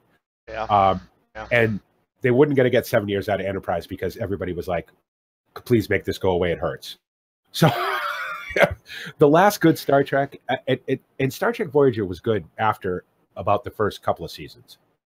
It got better when the Doctor started to. They really started to develop the characters, and it's Seven of Nine. Got the I would say they person. also brought Jeri Ryan on and got rid of the crazy one that was yeah. on there. Kes was Kes was interesting. That what's his face the the Uh, dude- Neelix. Neelix, yeah, he was Yeah. fairly interesting. I was always a fan of the Doctor. I thought the Doctor was great. You know, I thought the whole after a while, Well, the Doctor- carried the series. he really did. He really Yeah. did carry the series towards the end. Yeah. Well, the Doctor, I I liked seeing how he progressed from being just a You know, hologram to a being a hologram person. to being a person. I thought it was cool when they built all the holographic repeaters in the hallway so he could get out of the out of Yeah. the sick bay and walk around the ship. And how they was it the Prometheus? They ended up uh, going back in time with the Prometheus The Prometheus, yeah, and yeah. ended up getting the um, getting the holo emitter, the mobile holo emitter for him. So he could go on the ship, so he could go on away missions and stuff. Right. Um, The uh, and you know the if saddest. you actually start and watch it, that was all done before uh, a couple of the, the Generations movie, and then he ended up being on the emergency hologram on. Uh, he was the emergency. Enterprise. Hol- yep, he Yeah. was the emergency hologram. Yep. So the saddest episode of, of that show was when Kes died, and we knew she was going to die. She was only going to live nine years. That Well, was she- her- She didn't exactly die. She just kind of well, she went evolved. She- right, but Neelix is you know, and you get so used to her. You know, you get so used to a character, you, you sort of you know you take ownership of them, and then all of a sudden they're not there anymore, and you're like, oh, wait a minute, where's Kes going? I don't know. the the the one that I the one that you know I kind of felt the one character I kind of felt bad about leaving was when Neelix stayed on that asteroid when he Yeah. found the rest of his people. Yeah. When he found the rest of the furry weirdos. Yeah. Oh, Neelix was all right though. Neelix was it, Neelix. They needed Neelix on the show because that show could have been very because Janeway, whatever her real name is, she was not Yeah. fun. She was not funny. She was not clever. She wasn't, you know, not that Patrick Stewart was particularly fun, but he was a great actor. So, and Kathryn Janeway was stiff as fuck in the beginning. Oh. She was miserable. I couldn't Oh, stand yeah. to watch her. Well, Patrick Stewart brought a little bit of class to where people were used to the cowboy, Yeah. you know, Well- the cowboy persona of Kirk. Star Trek was a '60s was a science fiction western. They didn't know how else to make it. You know what I mean? Yeah. But then then you get Sir Patrick Stewart, who's a Shakespearean actor. You know, he was he. I hated the, the encounter at Farpoint. I was like, I will never watch this show again. The encounter at Farpoint was probably Awful. the worst episode of Star Trek Next Generation. It But was I do like how it awful. introduced Q and how Q. now Q is what made me say, hmm. Because I was about halfway through that episode and I'm like, this is just awful. The uniforms are horrible. Who's this Greek chick? What is this guy? What's, what's with the kid? What Patrick Stewart is horrible. What's going on? What have they done to my show? And then Q comes along and I'm like, oh, now wait a minute. This guy, I like whatever his name is, John Del- de Lancie or whatever. Yeah. And I'm like, I like this guy, and he's cool, and let's watch him. And they made him way cooler as he got as the show progressed. You know and they I mean? could not have picked a better actor for Oh, Q. he was perfect. I He- cannot picture anybody else ever being Q. But you know who played a good? Corbin Bernsen played a good Q too, though. Yeah. Remember when he? Yeah, when, he did. When Q lost all his powers and the other Q had to come and get him, he- played a good Q because he was just as much of a smartass as the original Q was. So I thought that was cool. Who was the original Q? Everybody, does anybody know who the original Q was? Come on, think back to the original series. That episode where Kirk ends up on the planet and, Right. and what's his face wants to keep him as a pet. Oh, you never let me Oh, have anything. Great. Is it? it Oh, was it, uh, yeah, was yeah. it Ron Howard's little brother, No, no, No, no, no. No, it was the the, one the that creepy little kid? no, it was the one that was uh, this the kid, the impotent kid. Uh, yeah, I know the episode, but I can't Yeah. think of the. He was the original Q. He was a Yeah. Q. They never Yeah. said it, but he was a Q. That's what. Yeah, he, But remember wasn't his he? Parent- You But never wasn't let he me played by anything. Ron Howard's li- uh, little No, brother? he's played by some old man. Some Yeah. fa- he was a Really. famous actor, the guy who played him, and I can't think of his name, but he was the original Q. They never said it, but as soon as and of course we wouldn't have known back then watching. But when, as soon as I they introduced Q, I'm like, wait a minute, that other guy That- that from, the, was- from the yeah. original episode, he was a Q too. Yeah. Oh, you never let me have anything Fun, fun. Yeah, because he had infinite power over everything, and Yep. Put your toys away, away, and come home home now. now. I don't want to. yeah, No. my two favorite episodes of the original series, though, one was Tholian Web, Yeah, that was a good one. and the other one was um, and I I mentioned it before, where they end up on that planet where they recreated the German society. Yes. And I remember because it caused a big uproar. Uh, uh, Oh, yeah. hearing about it causing a big uproar because um, Spock said that he kind of admired that, and everybody was freaking out. Well- and he had to explain that the reason why is because you know Germany was this basically impotent, impotent country that became the biggest global threat, you know, in the uh, in the world at that time. Well, and also let's let's remember that Leonard Nimoy was Jewish. yeah. So for him to say that was like, well, wait a minute. My favorite, my favorite. I don't know that I have a favorite. I, I know I have a favorite Next Generation episode, and that's the one where Picard gets kidnapped by the The best of both. wor- Uh, oh, mine's the best of both worlds with the Borg. Is which one is that? Which Borg is that? The one where they? It's the two-parter where he gets kidnapped by the Borg and gets turned into Locutus. Oh, oh, right, the cliffhanger, the fourth Yeah. season cliffhanger, or whatever. Yeah, that's a good one too. But man, you can't. I'm saying that one where he gets kidnapped by the Cardassians. There are five Four. fights. yeah. he, was, he acted the shit out of that. He was so good. At, that's when I realized how good an actor Patrick Stewart was. He was, and when he went when they went with Spock with uh, uh, with what was it called reconciliation or whatever. Um, that was Oh, a two-parter too. When they went yeah. to Romulus, Yeah. Romulus, and they actually came across uh, Uh, Denise, Cros- uh, Denise Denise Crosby, Crosby's- was Yeah. playing- Yeah, Romulan as when she was playing her- playing her own daughter, Yeah. which was just that was a mind fuck, right? You're like, well, wait a minute. Yeah, But, Because- it, it- But and the only reason we why go is 'cause- back in time? when did that happen? And then they showed it, you know, however many episodes later. It's like, oh, that's how that happened. Oh, that was cool. That was fantastic. my favorite line from that uh, from that story though was um, one of the Klingons was taking them into Romulan space, and they were talking to Data, and Data said Oh. something, and she and he goes, "You better be careful, or some little Romulan thing will lick that paint right off your Some- skin." And I'm some, like, some Romulan beauty will lick the paint right off your ears. Yep. Klingons got so much better in the next generation. They became actual human beings. Worf was always way too much of it. Like the Worf needed to pull that stick out of his ass occasionally, but his brother, yeah, his brother was fantastic. "Yeah, just drunk and loud and just Klingon. You know, he smelled like a Klingon. You know what I mean? He played. Kurn was the best. He made the best faces. But even better than him was the guy who played the oh fuck is his name? When the whole Civil War was going on, um, the um, not the It bad start- Klingon, not the not the Duras, the other Yeah. one. oh, not Duras, Shit. not the heavy set uh, gray No, guy. Duras uh, was a prick. We didn't. Nobody yeah. liked Duras, but the you're other talking guy. about the guy with the bug eyes. Yes, he was. He made the best faces. Oh, what the hell was his name? He ended up becoming the the leader of the Klingon Council. What the fuck was his name? Yeah. I can't. Uh, I can't remember his name. Duras, and, and, uh, it's right on the tip of my tongue. Yeah, mine too. Fuck. Duras was a prick, and his son was a prick. And it, but but his but his sisters, they were all right. They were cool. Yeah. So, like when they kidnapped Worf, and Worf's just like, "Get away from me." How about Worf's wife or Worf's girlfriend, Alexander's mother? Ooh, she Oh, was a yes, dude. yeah. Um, For a Yeah, she- Klingon, she wasn't bad. she was a lousy actor. Of course, she had a rough role because she was trying to play half Klingon, half human, which nobody had ever done before. So that she's just kind of winging it.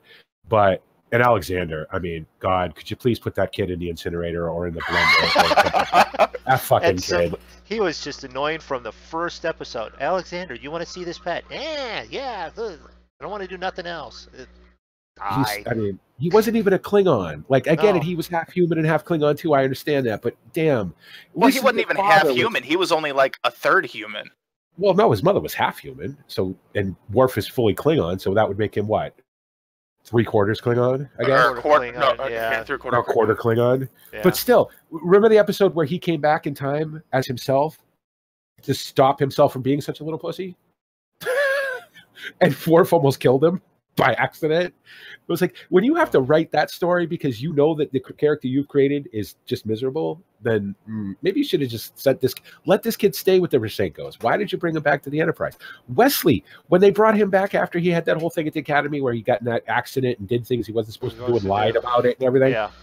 yeah. All right, Wesley, go away now. Nobody's interested Well, in you. what I anymore think's funny though is that the one that one of the ones that caught that was in on the accident and everything was the same one that in Enterprise played Tom Paris. Tom Paris. Yeah. Yeah.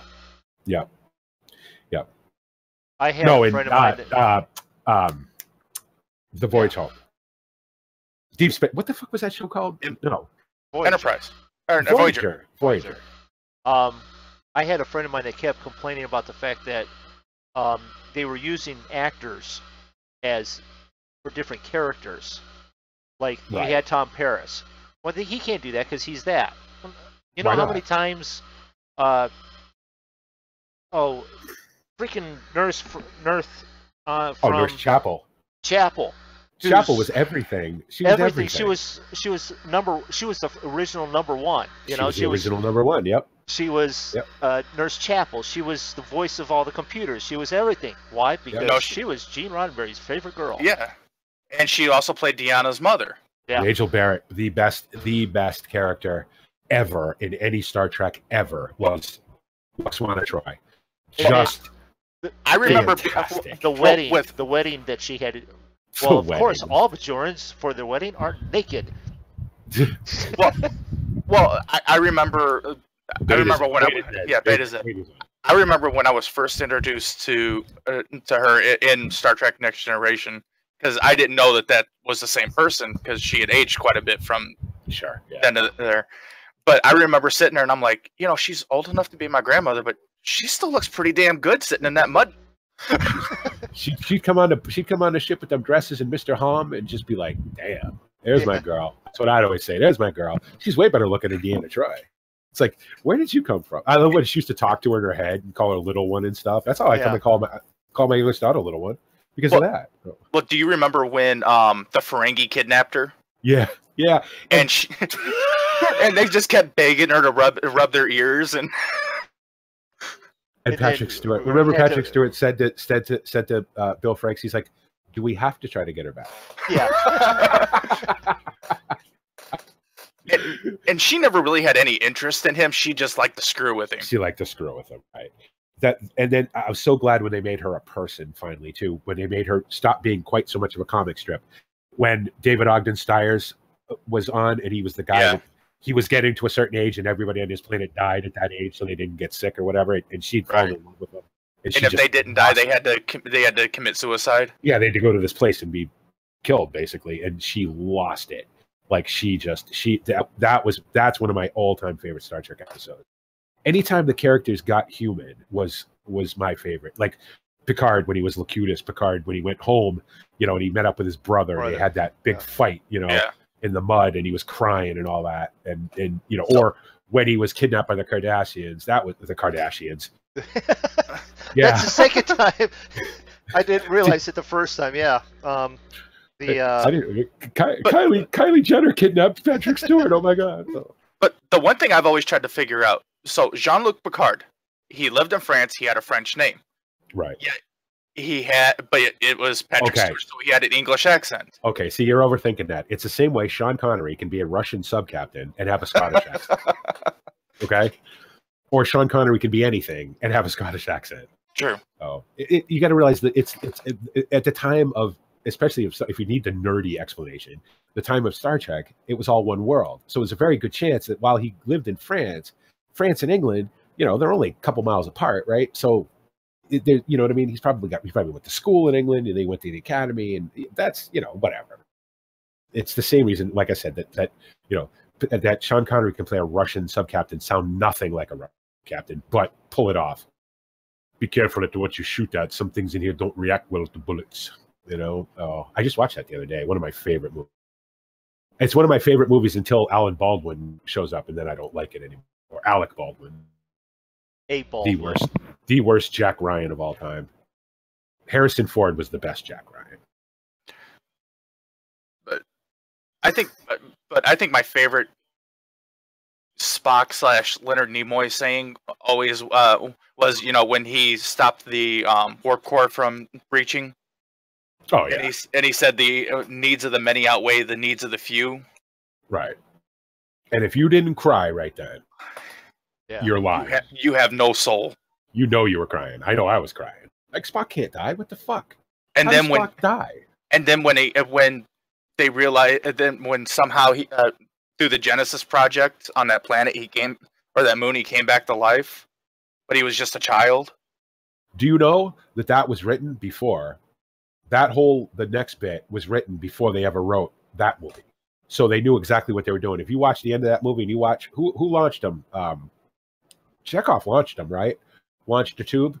You can see it in Chekhov's face. He altered the trajectory of that on purpose so that it would soft land on a planet, knowing that the or hoping that the Genesis effect would bring him back to life. That was all part of it. They knew that was going to come. So when they found him, it was like, well, that's not much of a surprise now, is it? I was thrilled. I was like, yes, you know. Like, what about and and what about Sarah- Uhura and doing her Oh, her dance? dance on in, in Final Frontier up in the sand. Yeah. Listen, Nish, Nick, uh, whatever her name is, Nish, Nichelle Nichols. Nichelle. She was hot as fuck. I don't care if she's sixty years old. She was all right up there dancing with just the fans. Go, go get some girl. You know, she was awesome. Um, We're flying the- into HECA, right? that's what you I'm- wrote. That's what I'm you already wrote on the ground. Okay. I'm on the ground park. ninja engine Hey, shut take- off. Tate Dugan, what's up? I'm just waiting Uh, for Moondog to land, and then I'm going. Hurry up. Okay. I'm sorry. Working on it. What's the? See, I, I had a thought now. I forgot what it was. Uh, shit, I can't remember that. Whatever. It'll come to me at some random time. Yeah, there's so many great Star Trek movies, uh, Star Trek moments. You know, it, it- even in movies that weren't great, there were still good moments. Like Sarek when he came to to Jim Kirk and said, "Why'd you leave my son behind?" You know, and Sarek was great. I, I always loved uh, Mark. What's the guy? Mark Lenard was his name, I think. Yeah. Right? He was fantastic. Or w- or when he knew that he had that degenerative degenerative disease, so he Oh, jeez, he mind melded with uh With- with, Picard. Picard, yeah. But he was so good in that to act that out, to act that whole like losing after so many years of being, you know, Sarek and being the ultimate sort of It, it was basically it was basically the Vulcan version of Alzheimer's. Alzheimer's. yeah. It was it, right, and, and just think after so many years of repressing all your emotions, you know, and then having them all come out at once. And how about at the end when when Patrick Stewart was sitting in the chair with Doctor whatever her name was, and he's you know doing the thing and he's shaking and he's crying, it makes you realize what a great actor Patrick Stewart was too. Anytime those characters got human, I got real interested. My favorite, um, what's the redheaded doctor's name? I can't think of her name. Anyway, Uh, She was- Crusher. she was hot too, yeah. But when she went to the back to the colony, to the Scottish colony, and met the ghost that had been falling in love with members of her family for six hundred Yeah. years, like that was cool too. You know, anytime those characters got human, like Data, when Data got his head cut off, and then when he got his emotion chip, when he met Lore for the first time, when Lore fucked him for the first time, when Lore fucked him for the second time, you know, Lore was fun. So Yeah. you know, I'm, I'm glad they finally got rid of him, but he was cool for a while. Or what about the irony of Geordi LaForge, a blind man, trying to teach a android how to paint? how to paint right right what was what was laura's what was uh, data's daughter's name um Oh, fuck that was a sad one too when she Not Leeloo. Uh, Li- leeloo was the thing from the fifth element yeah, no, I know. Li- it was a uh, Leah. no It she was- picked her own name what the hell did she pick i can't oh, shit it was someone in l wasn't it or are we just what- transposing that from lore no, it was something with an L. anybody in chat know hey want to help us out here Um, uh, but anyway your- when pull, pull out your book that you have with all the notes in it, and Wow, when you're when you're this nerdy, it hurt. um, what's the oh shit? lol. Lol. Lal. That was it. Lol. Yep. But it was sad. It was so sad. did, some, when she- at did someone end just Google like, that? I "No, did you did. Oh, good for you." because I because I knew it was L. I knew it was L something. I just couldn't uh, remember what it was.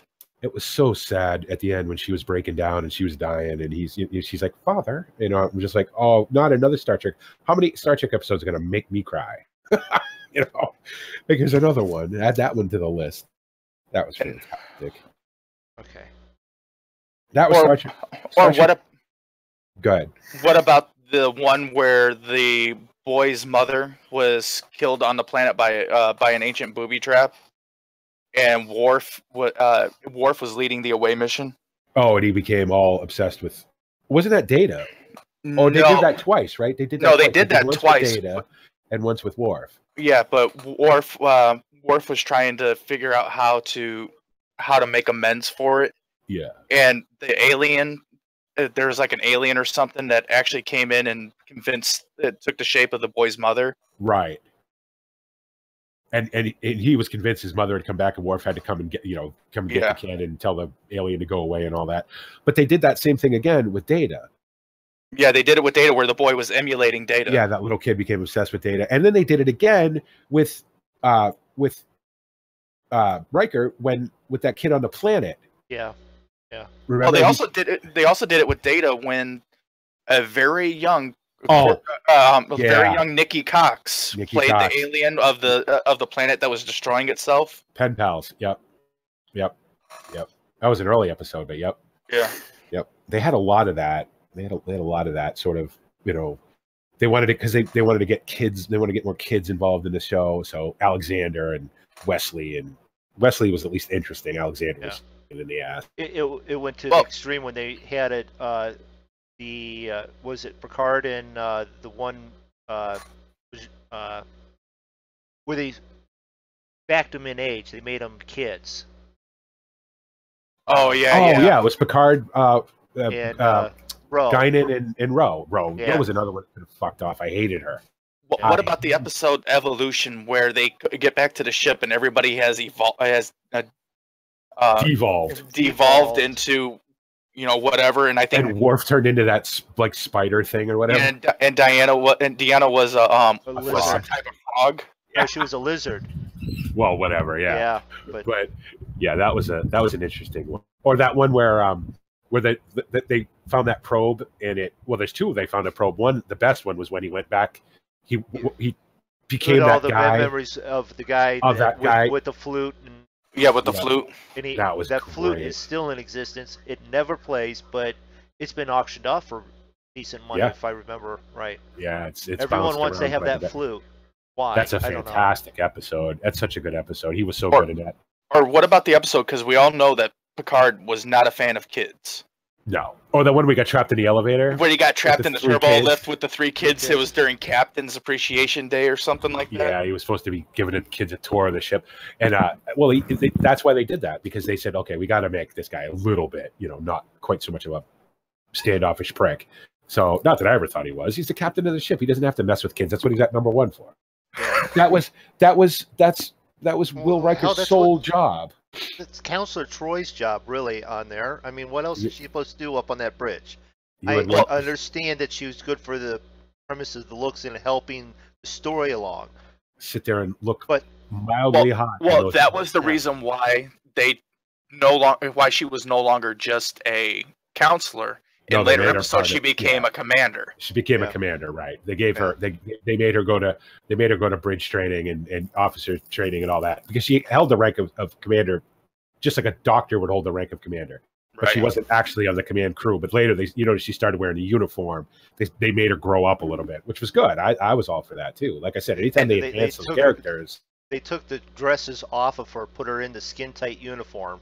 which is okay, I can live with that. But do you remember the episode where she had to take command of the of the battle bridge when Yeah. the Yeah. Yeah. Do you remember the episode where where Beverly Crusher took command of the Enterprise because the warp bubble was shrinking around the ship and she didn't realize that it was her? That everybody she thought Yeah. everybody was disappearing, but what was happening was the warp bubble was shrinking around the ship, so the space was getting smaller around her. or or what about the one where they show where they come back and the uh, and there's a Romulan warbird and the Enterprise frozen in time, Oh yeah, when it's getting shot. and the, and it turns in- out the aliens had like built like a nest or something in the artificial black hole that powered the Romulan warbird. Yeah, yeah.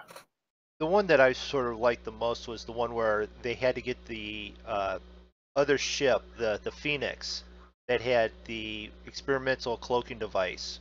Yeah, Riker's old go- ship. Riker's old ship and Oh, Commander. You know what? The pe- uh, uh, and uh, no, uh, the, the wasn't it the Pegasus? it. The, The oh, Pegasus. Pegasus, yeah. Yeah, when they went and it was it was warped halfway into the into the It was a- asteroid. Yeah. asteroid, and the Romulans were looking for it, and then Picard did the, well, we found it, here it is, we've got it, and popped right in front of them with it. Yeah. Who played? Who played? Who played? The guy that played Riker's old captain was a prick. He Oh, was. And remember the guy? Remember when um when Picard when they went on that mission and Ronny Cox became the captain of the Enterprise? I hate Ronny Cox. He's such a shitty actor. Well, that I'm was like, that, why are you? that was the same ep- episode where uh, Picard gets kidnapped by the Cardassians. Yes, because they went on the mission and he got Yeah. caught. But it was like I hated I oh Ronny Cox is and of course he I mean they must have wrote him that way on purpose, obviously. He kept fighting with Riker and ended up relieving him and and then the other one when when who became the captain when he got kidnapped by the Borg? Wasn't Uh, that Ronny Riker, Cox too? Riker, no, Riker became captain, and no, there was somebody else in the Oh no, it was and Commander Shelby officer. took over. Yeah, Shelby, she was yeah. a pain in the ass too. Yeah. How do you guys even remember all that stuff?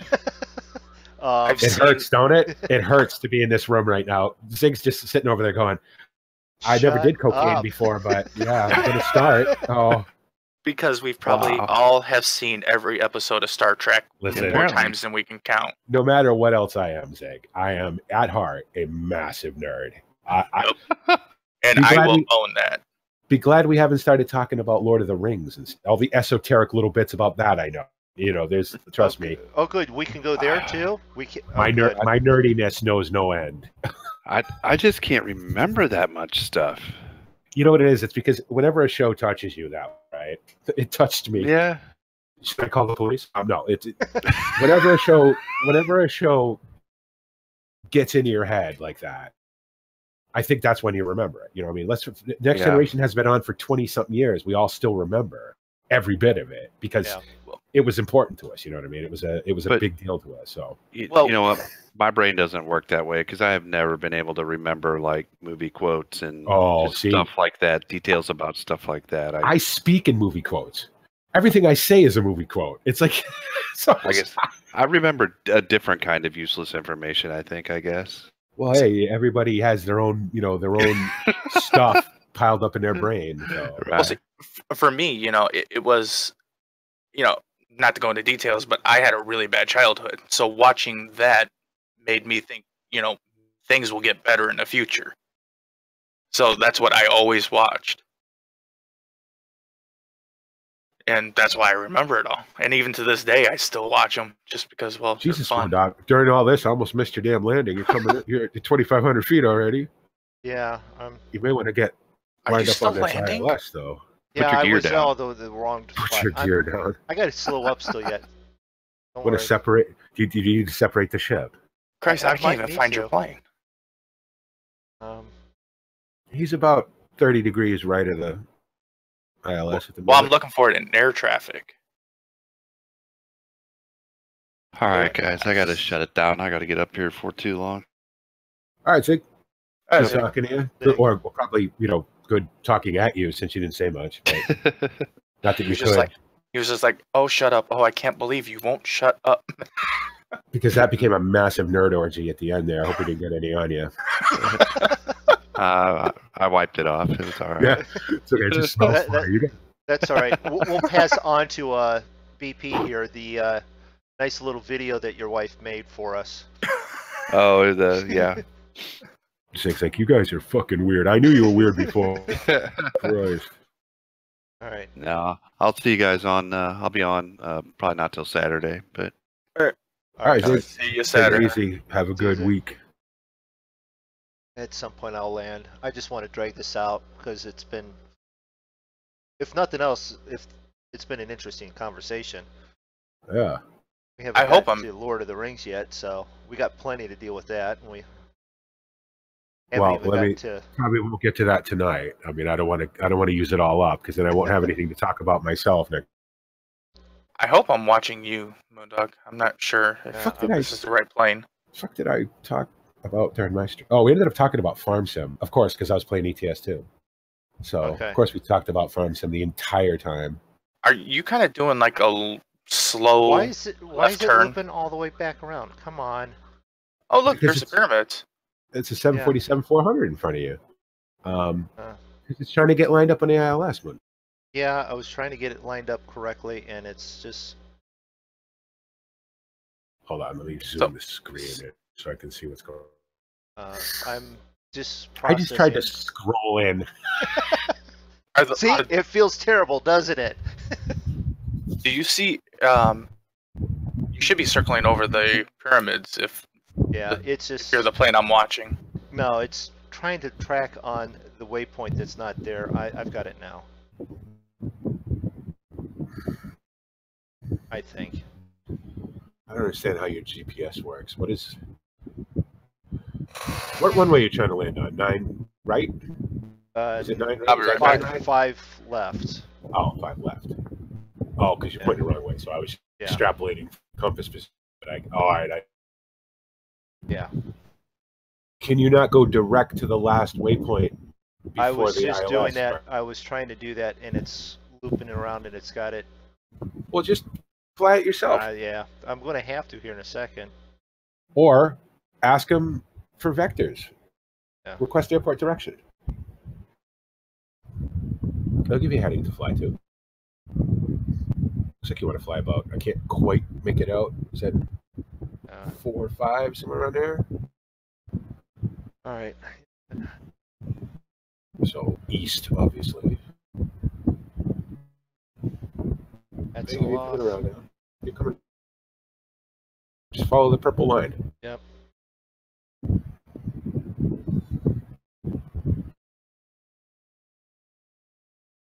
Yeah, flaps.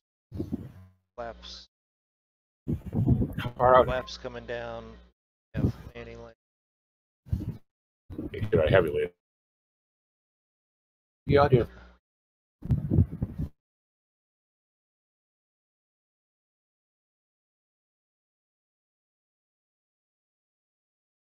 Yeah, you pitched up too much here. Flaps come up. Obviously. Yeah. Somewhere right down here is. This is where I sh- fly the plane. And I'm trying to find real quickly an airport in the middle of my left.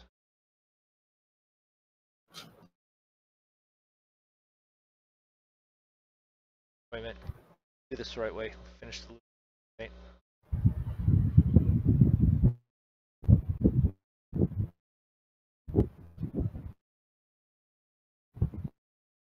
This, and I'm going to be sideways here. Hope none of you get sick.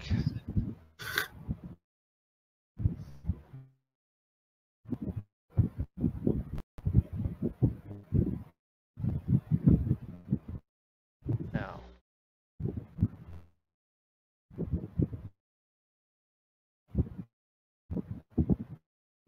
Back this and line up. it's a fairly aggressive turn. Yeah, I know. It's not though. It is- looks it, but it's really It's probably right a at the end of the 40. 40 degrees that you can roll is over. Yeah. Well, it'll tell you on your HSI anyway. Okay, I'm back. Sorry about that, guys. That's all right. I I'm just getting ready Waiting to for loop the Moondog to find you. So, anybody watching my stream, sorry that there wasn't much talking about flying, but that's how all of our streams go. It's what we do. As a matter of fact, I remember a Farm Sim episode live stream where we got philosophical and Us? started talking about weird stuff. Us? Philosophical? Yeah, yeah, we actually got philosophical. It didn't last long, but we did. Why am I climbing so much to get down? Thank you. How did I do that? I rolled all the way past the airport again. Fog. Low level clouds. I want to be hitting five. Come on. I know this. If air traffic control is just going, okay, we've got this plane at, at the beginning of approach, it's looping around. Can't land anything else because it's in the way. It's an American CIA plane. Shoot it down. Over Cairo, Zig? What do you think Zig is like saying to his wife right now? I just listened to these guys. Talk, I don't know what the hell they were talking about. All I know is my brain hurts and I'm going to dream about Klingons and people named DeForest all night. Oh, It's a good thing we didn't start talking about MASH. MASH. I know. Yeah. Oh, All, all you have to all you have to do is tell me the title of the show. I can tell you everything. Uh, the title I of the episode. I can tell you everything about it. I don't remember the titles, but I definitely remember every episode. That is my absolute favorite TV show of all. Um, McLean Stevenson, I thought was funnier than Henry Morgan, but I think that's because Alan Alda took over a lot of the creative stuff, Well, because and it got kind of preachy. All right, because I don't want to get into this, but I'm only going to say this: McLean Stevenson was designed to be funny. He was designed to be a civilian playing a colonel, right?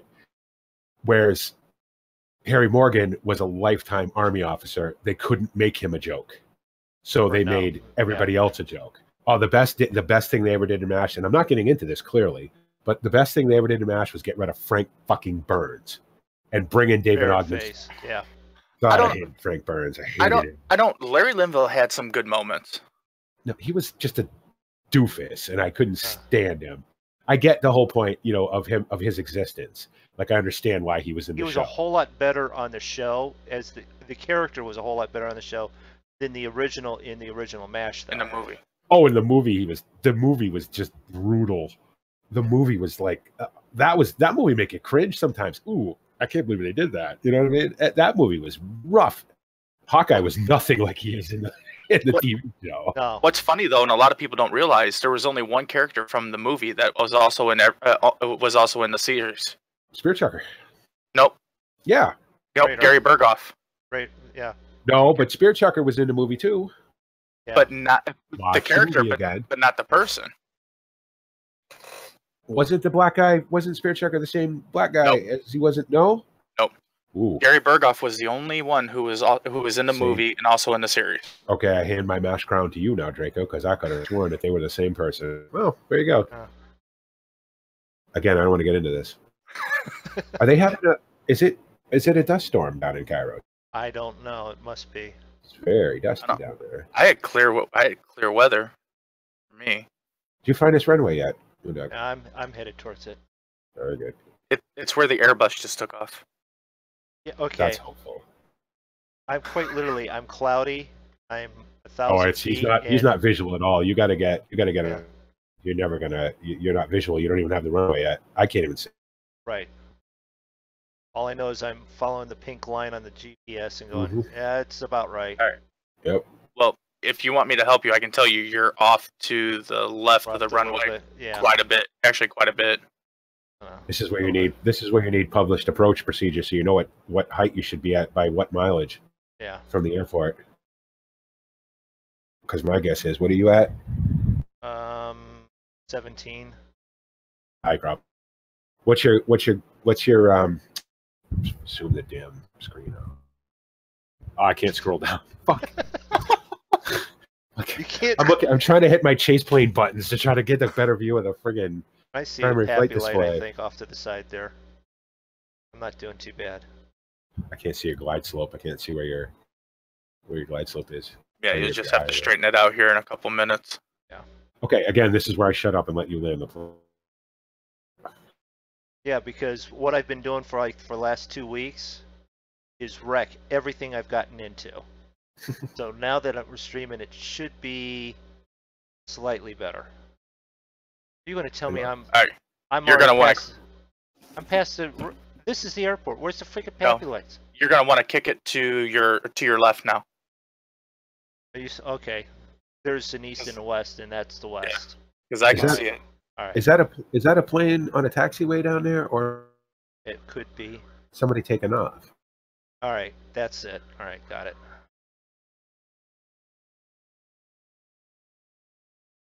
Right over that building. Yep, you're gonna go over this cluster of buildings, and then Yeah. there's I got it. The I got it. I got it. Well, I tell you, this visibility is not good. I've landed many times in this kind of weather. It isn't fun. When you're not visual till you're actually on the run. Yeah. I'm a little But- high, but I would say a thousand feet probably because you got a pretty tall. You're gonna the? clear. You're gonna clear everything. Oh yeah. Oh, he's gonna clear it. Sure. What's the What's the runway elevation? I don't know. I'm at uh, five. I- it said 500 just a second ago, so. It's Cairo. It's 500 got to be. Yeah. close to sea level. Well, it's a couple hundred feet up. I guess. Yeah, you got it. You got it. There you go. Now you're visual. Finally. Isn't that terrifying? Where the fuck is the runway? Oh, there it is. All right, I taxied to parking. You're too close to worry about the PAPIs now. Anyway, Moondog. So. Yeah. I'm. I'm not. Oh, you're right on the slope though. And on it. Moondog should touch down. A couple minutes. Now. He's, he's Yeah. no. I. I he's, Nope. I- He's not quite at the threshold There yet. he goes. Oh, you've already. Uh, I forget I'm watching a stream. yes, you've already landed. Never mind. I'm still. wa- I'm still enjoying it. Well, enjoy it. It. I think it was pretty darn good.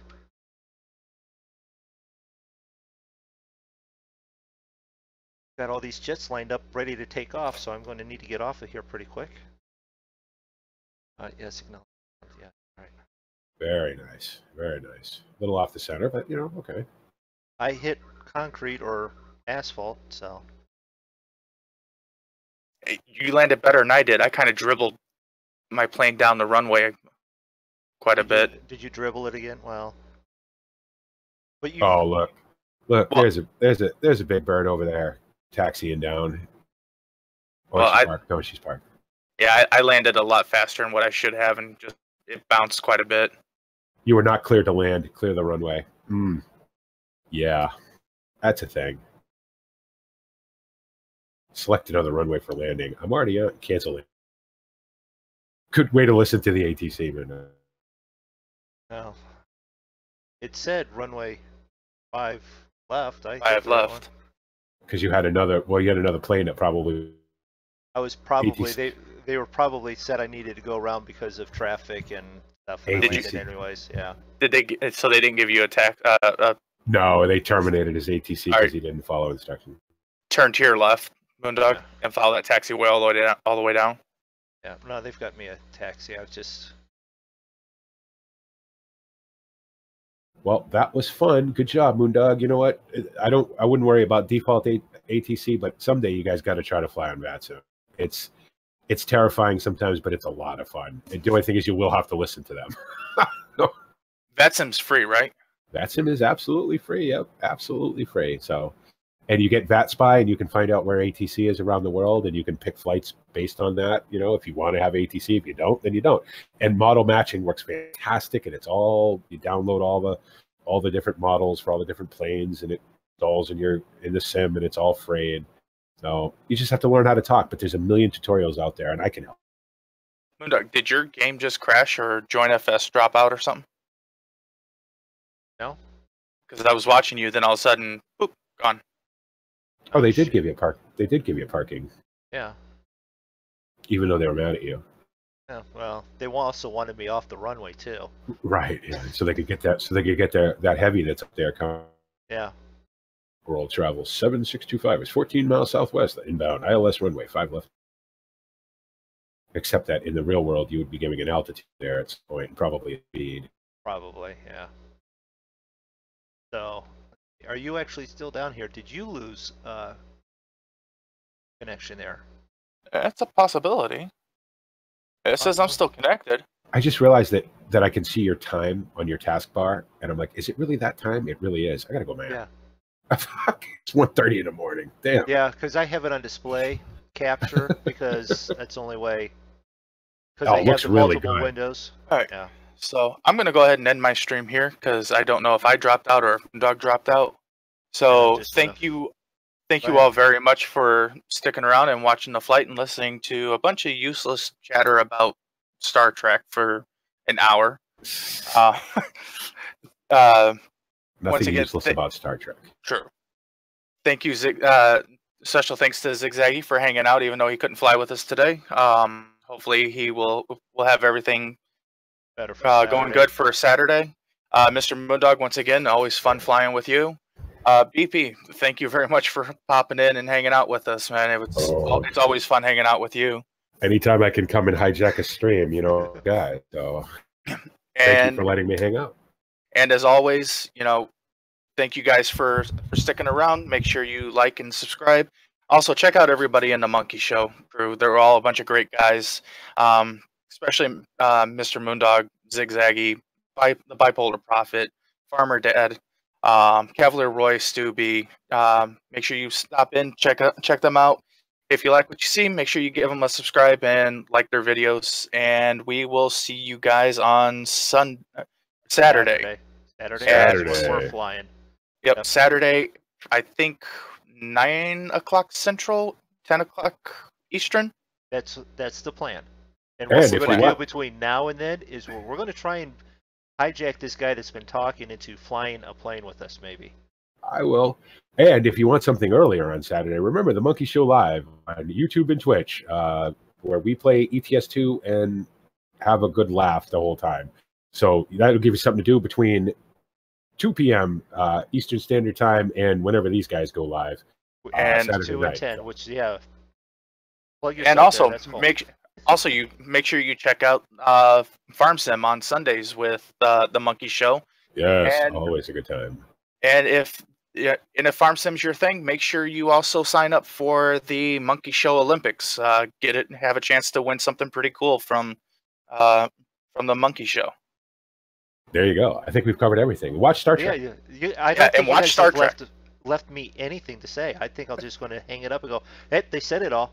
What more to do? I'm just going to park it here and go. Yep, we're done. And watch Star Trek. A lot of good life lessons there, kids. Right. And, and you can join in on the next conversation we have. Oh, You might have, you know, a clue as to what the heck we're talking about. Although the next Okay. one might be Star Wars, or it could be. I don't know Star Middle Wars Earth? as well as uh, Lord of the Rings. I, I know pretty See, well. I don't know Lord of the Rings. Well, so you'll be able to learn something, Drako. How do know So Lord of the Rings, best books ever written. Never read a book, uh, never read one of those books, never watched Oh. one of the videos. So Okay, All right. okay, I can't be friends with you anymore. I, I'm But- assuming BP has even watched the Hobbits. Uh, you know, the death, the Smogs, and all that stuff. oh, the- of course I have. Of course I have. Read all the books. Why wouldn't I? Wouldn't I watch the movies? Peter Jackson's a fucking genius. Did a, I think I think Tolkien would have approved. Oh, did a fantastic job. So once again, thank you, uh, thank everybody, uh, thank you everybody for stopping in and checking us out, and everybody who's going to watch, who would watch this in the future, and we will see you on Saturday. Bye, everybody. Thanks. Bye. Subscribe to Bipolar Profit on YouTube. I'm sorry. And the end. It's a Twitch. I can't help it. It, Oh. it, it's a Twitch. You hear goodbye and he does it. So you know what? I'm not even gonna give him a chance. We're just gonna go. I'm t- killing it right now. Everyone, same thing.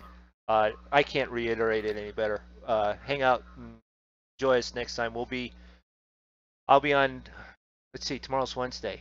Oh, and I'm going to be actually doing work. Um, yeah, I will t- try and be here at four for my stream. If not, it will be a little bit later on Wednesday afternoons. I don't know what I'm doing tomorrow afternoon. It could be more of this. Um, then Saturday, I will be with the rest of the monkeys at two o'clock, and then at ten o'clock, um, we'll be doing some more flying, and then Sunday with BP. It, uh, not Olympics this weekend; it's next weekend. the right. twentieth. Right, the twentieth. So it'll be But regular. make sure you farming get signed on- up.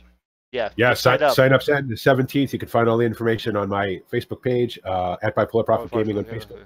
Yeah. Uh, YouTube, Bipolar Profit Gaming on YouTube. Uh, it's also on my Twitch page, Bipolar Profit Yeah. Two on Twitch. Right. So um, Get signed up, have some fun, win a prize. Yeah, uh, and everyone, no matter how much you've been farming, has a chance because there's We no made ringers sure in it. this. There's no ringers in this. There's definitely not. So we Um, made sure of it. yeah, And you'll and you also just get to hang out with a bunch of the monkey show too. So which is always a treat. Moondog, say goodbye. goodbye.